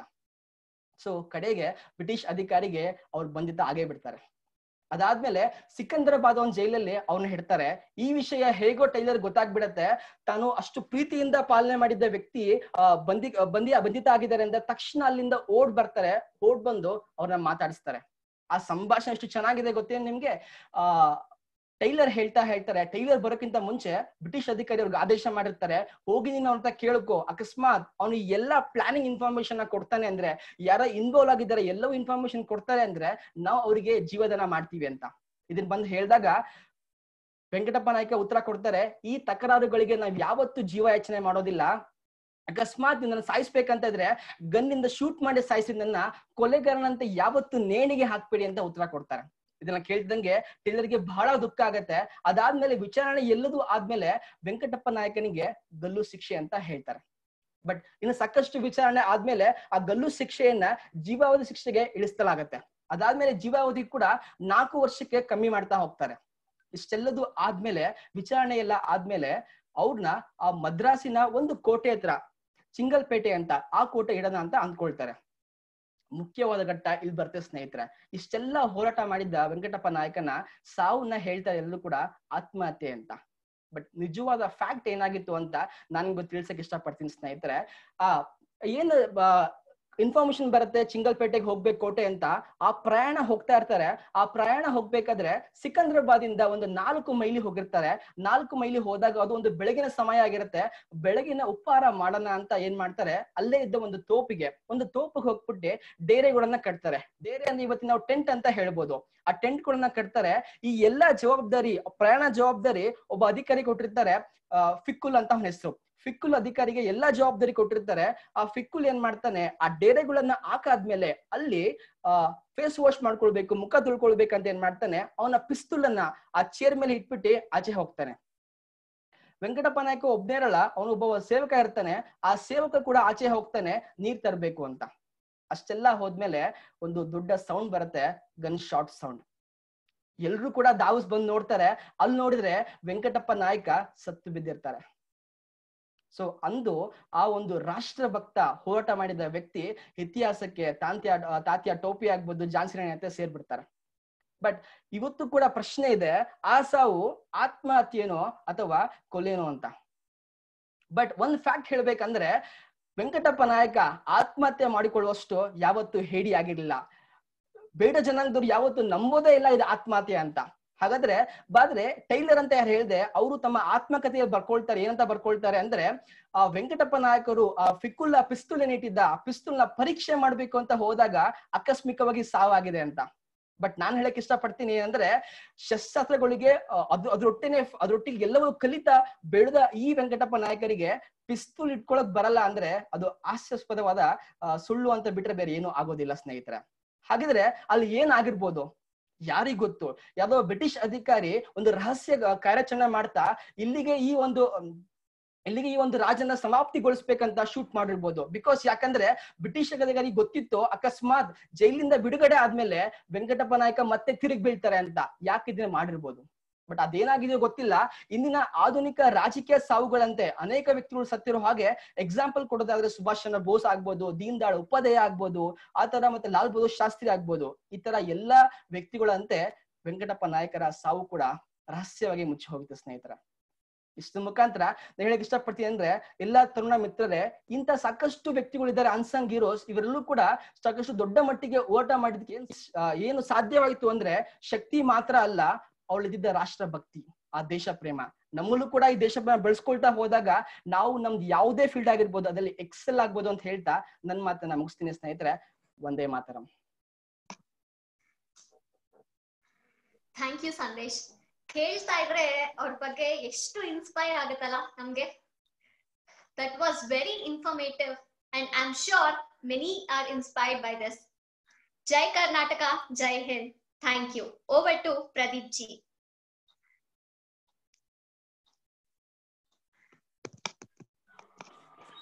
ನಮಸ್ಕಾರ. ಇಂದಿನ ಕಾರ್ಯಕ್ರಮದ ಕೊನೆಯ ಹಂತಕ್ಕೆ ಬಂದಿದ್ದೀವಿ. Every beginning has an ending every ending has a new beginning ಅಂತ. ಇವತ್ತಿನ ಕಾರ್ಯಕ್ರಮದ ಕೊನೆ ಆಗ್ತಾ ಇದೆ. ಆದ್ರೆ ಈ ಒಂದು ಸೆಲೆಬ್ರೇಷನ್ ಇನ್ನೂ ಹದಿಮೂರು ದಿನಗಳ ಕಾಲ ಇರುತ್ತೆ. ಇವತ್ತಿನ ಕಾರ್ಯಕ್ರಮ ನಮ್ಮ ಮನಸ್ಸಿಗೆ ಮುದವನ್ನ ಕೊಟ್ಟು, ನಮ್ಮ ಆತ್ಮಕ್ಕೆ ಮತ್ತು ನಮ್ಮ ಬುದ್ಧಿಗೆ ಒಂದು ಚುರುಕನ್ನ ಮತ್ತು ಆನಂದವನ್ನ ಕೊಟ್ಟಿದೆ ಅಂತ ಎಲ್ಲರಿಗೂ ಅನ್ಕೋತೀನಿ. I hope you all enjoyed it ಇನ್ನು ಕೆಲವು ಪ್ರಕಟಣೆಗಳಿದೆ. ಪ್ರಕಟಣೆಗಳು ಒಂದೇನಂದ್ರೆ ಇವತ್ತಿನ ಸಂಜೆ ತುಂಬಾ ಮುಖ್ಯವಾದ ಒಂದು ಕಾರ್ಯಕ್ರಮ. ಅದು ಸ್ವಾತಂತ್ರ್ಯ ಸಂಗ್ರಾಮದಲ್ಲಿ ಕ್ರಾಂತಿಕಾರಿಗಳ ಪಾತ್ರ ಅಂತ. ಆ ಒಂದು ಟಾಪಿಕ್ ಮೇಲೆ ಶ್ರೀ ಆದರ್ಶ ಗೋಖಲೆ ಇವರು ಲೆಕ್ಚರರ್ ಆಗಿದ್ದಾರೆ, ಒರೇಟರ್ ಖ್ಯಾತ ವಾಗ್ಮಿ ಕೂಡ ಆಗಿದ್ದಾರೆ. ಇವರು ಮಾತಾಡ್ತಾರೆ. ನಾನ್ ಈಗ ಒಬ್ಬ ವ್ಯಕ್ತಿಯ ಒಬ್ಬ ಕ್ರಾಂತಿಕಾರಿಗಳ ಕಥೆಗಳನ್ನ ಕೇಳಿಸ್ಕೊಂಡು ಇಷ್ಟು ಖುಷಿ ಪಡ್ತಾ ಇದೀವಿ. ಇನ್ನು ಇವತ್ತು ಸಂಜೆ ಒಂದು ರಸದೌತಣ ಅಂತಾನೆ ಹೇಳಬಹುದು. ಹಲವಾರು ಕ್ರಾಂತಿಕಾರಿಗಳ ಒಂದು ಚೇತೋಹಾರಿಯಾದ ಒಂದು ದೃಶ್ಯ ನಮ್ಮ ಕಣ್ಮುಂದೆ ಬರಲಿದೆ. ಇದನ್ನ ಯಾರು ಮಿಸ್ ಮಾಡ್ಕೋಬಾರದು? ಇಲ್ಲಿರೋರು ಎಲ್ರು ಅಟೆಂಡ್ ಮಾಡ್ಬೇಕು. ನೀವು ಅಷ್ಟೇ ಅಲ್ಲದಲ್ಲೇ ನಿಮಗೆ ಗೊತ್ತಿರೋರು ಎಲ್ರಿಗೂ ಹೇಳಿ ಅವ್ರಿಗೆಲ್ರಿಗೂ ಇದನ್ನ ಈ ಒಂದು ಕಾರ್ಯಕ್ರಮವನ್ನು ಅಟೆಂಡ್ ಮಾಡೋದಕ್ಕೆ ಹೇಳಿ. ಯಾಕೆಂದ್ರೆ ಇದ್ರಲ್ಲಿ ಹಲವಾರು ವಿಷಯಗಳು ನಮ್ಗೆ ಗೊತ್ತಿಲ್ಲದೇ ಇರುತ್ತೆ. ನಮ್ಮ ಇಂಡಿಯನ್ ಹಿಸ್ಟ್ರಿ ಅಂದ್ರೆ ನಾವ್ ಯಾವಾಗ Indian history is history of failure ಅಂತ ತಿಳ್ಕೊತೀವಿ. ಈ ಒಂದು ಘಟನೆಗಳನ್ನ ನೋಡಿದಾಗ ಗೊತ್ತಾಗುತ್ತೆ ನಮ್ಮ ಇಂಡಿಯನ್ ಹಿಸ್ಟ್ರಿ ಎಷ್ಟು ಗ್ರೇಟ್ ಅಂತ. ಸೊ ಅದಕ್ಕೋಸ್ಕರ ಎಲ್ಲರೂ ಇವತ್ತು ಸಂಜೆ ಆರು ಗಂಟೆಗೆ ಫೇಸ್ಬುಕ್ ಲೈವ್ ಬನ್ನಿ.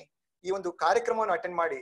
ಇದರಿಂದ ನಾವೊಂದು ಇನ್ಸ್ಪಿರೇಷನ್ ಅನ್ನ ತಗೊಂಡು ಈ ಒಂದು ಇನ್ಸ್ಪಿರೇಷನ್ ಅನ್ನ ಬೇರೆಯವ್ರಿಗೂ ಕೊಡೋಣ ಅಂತ ಹೇಳಕ್ ಇಷ್ಟಪಡ್ತೀನಿ. ಇನ್ನು ಮುಂದಿನ ಹಂತ, ನಾಳೆ ಬೆಳಿಗ್ಗೆ ಕಾರ್ಯಕ್ರಮ. ಈಗ ಎರಡು ದಿನದ ಕಾರ್ಯಕ್ರಮ ಆಯ್ತು. ನಾಳೆ ಮೂರನೇ ದಿನ ಇದೆ. ಮೂರನೇ ದಿನ ಕೂಡ ಇದೇ ತರನೇ ಇದಕ್ಕಿಂತ ಇನ್ನೂ ಚೆನ್ನಾಗಿರೋ ಕಾರ್ಯಕ್ರಮಗಳು ಇಟ್ಸ್ ಆಲ್ರೆಡಿ ಲೈನ್ಡ್ ಅಪ್ ನಾಳೆನೂ ಕೂಡ ಹಲವಾರು ಒಂದು ದೇಶಭಕ್ತಿ ಗೀತೆಗಳಿರುತ್ತೆ. ನಿಮ್ಮ ಮುಂದೆ ಕಾಣಿಸ್ತಾ ಇರ್ಬೋದು ಈಗ. ನಾಳೆ ಮೂರನೇ ತಾರೀಕು ಮಂಡೆ ಹನ್ನೊಂದರಿಂದ ಹನ್ನೆರಡು, ಇದೇ ಸಮಯಕ್ಕೆ ಪ್ಲೀಸ್ ಟ್ಯೂನ್ ಇನ್ ಸೊ ಒಂದು ದೇಶಭಕ್ತಿ ಗೀತೆಗಳಿರುತ್ತೆ. ಹಾಗೂ ಇವತ್ತು ಹೇಗೆ ಡ್ಯಾನ್ಸ್ ಇತ್ತು, ಇದೇ ರೀತಿಯಾದ ಒಂದು ಡ್ಯಾನ್ಸ್ ಪರ್ಫಾರ್ಮೆನ್ಸ್ ಕೂಡ ಇರುತ್ತೆ. ಅದು ದೇಶಭಕ್ತಿ ಒಂದು ಮೂಡಿಸುವಂತ ಒಂದು ಡ್ಯಾನ್ಸ್ ಪರ್ಫಾರ್ಮೆನ್ಸ್ ಇರುತ್ತೆ. ಮತ್ತು ಯುವಕ, ಒಬ್ಬ ಯುವಕರು ಬಂದು, ಅವರು ನನ್ನ ಕನಸಿನ ಭಾರತ ಅಂತ ಆ ಒಂದು ಟಾಪಿಕ್ ಮೇಲೆ ಒಂದು ಚೇತೋಹಾರಿಯಾಗಿ ನಮಗೆ ವಿಷಯವನ್ನು ತಿಳಿಸ್ಕೊಡಲಿದ್ದಾರೆ. ಇನ್ನು ಎರಡು ತುಂಬಾ ಮುಖ್ಯ. ಒಂದು ಪೊಯೆಟ್ರಿ ಒಂದು ಕವಿತೆಯನ್ನ ನನ್ನ ಸೋಲ್ಜರ್ ನಮ್ಮ ಯೋಧರ ಮೇಲೆ ಹೇಳೋದಕ್ಕೆ ಅಂತ ಆಗ್ಲೇ ಹುಡುಗರು ರೆಡಿ ಇದ್ದಾರೆ. ಅವ್ರನ್ನ ಕೇಳಿಸ್ಕೊಳ್ಳೋದನ್ನ ಮರಿಬೇಡಿ.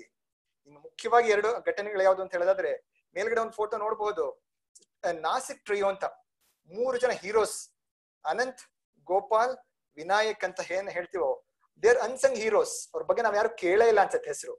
ಅವ್ರ ಬಗ್ಗೆ ಘಟನೆಗಳನ್ನ ಕಥೆಗಳನ್ನ ಹೇಳೋದಕ್ಕೆ ಹಲವಾರು ವಿದ್ಯಾ ನಮ್ಮ ಒಬ್ರು ವಾಲಂಟಿಯರ್ ಇದ್ದಾರೆ. ಅಷ್ಟೆಲ್ದಲ್ಲಿ ವಿದ್ಯಾರ್ಥಿಗಳು. ಸ್ವತಂತ್ರ ವೀರ ಸಾವರ್ಕರ್. ವೀರ ಸಾವರ್ಕರ್ ಅಂತ ನಾವ್ ಏನ್ ಕರಿತೀವಿ? ಸ್ವತಂತ್ರ ವೀರ ಸಾವರ್ಕರ್ ಅಂತ ಏನ್ ಕರಿತೀವಿ? ಅವ್ರ ಬಗ್ಗೆ ಹಲವಾರು ಘಟನೆಗಳನ್ನ ನಮಗೆ ಗೊತ್ತಿಲ್ಲದಲ್ಲರ ವಿಷಯಗಳನ್ನ ತಿಳಿಸ್ಕೊಡೋದಕ್ಕೆ ಅಂತ ಬರ್ತಾ ಇದಾರೆ. ಸೊ ಎಲ್ಲರೂ ನಾಳೆ ಸ್ಟೂಡೆಂಟ್ಸ್ ಟೀಚರ್ಸ್ ಹಾಗೂ ಪೇರೆಂಟ್ಸ್ ಎಲ್ಲರೂ ನಾಳೆ ಹನ್ನೊಂದು ಗಂಟೆಯಿಂದ ಹನ್ನೆರಡು ಗಂಟೆ ಅಟೆಂಡ್ ಮಾಡಿ.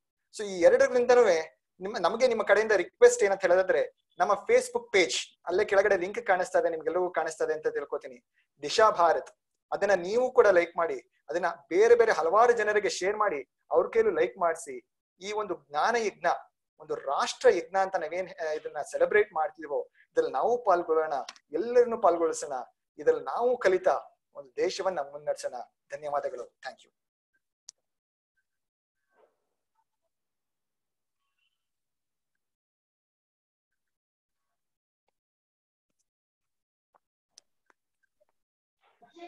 ಎಂಡ್ ಆಗಿದೆ live stream Jai Ho. Jai you can Ho. even stop the recording.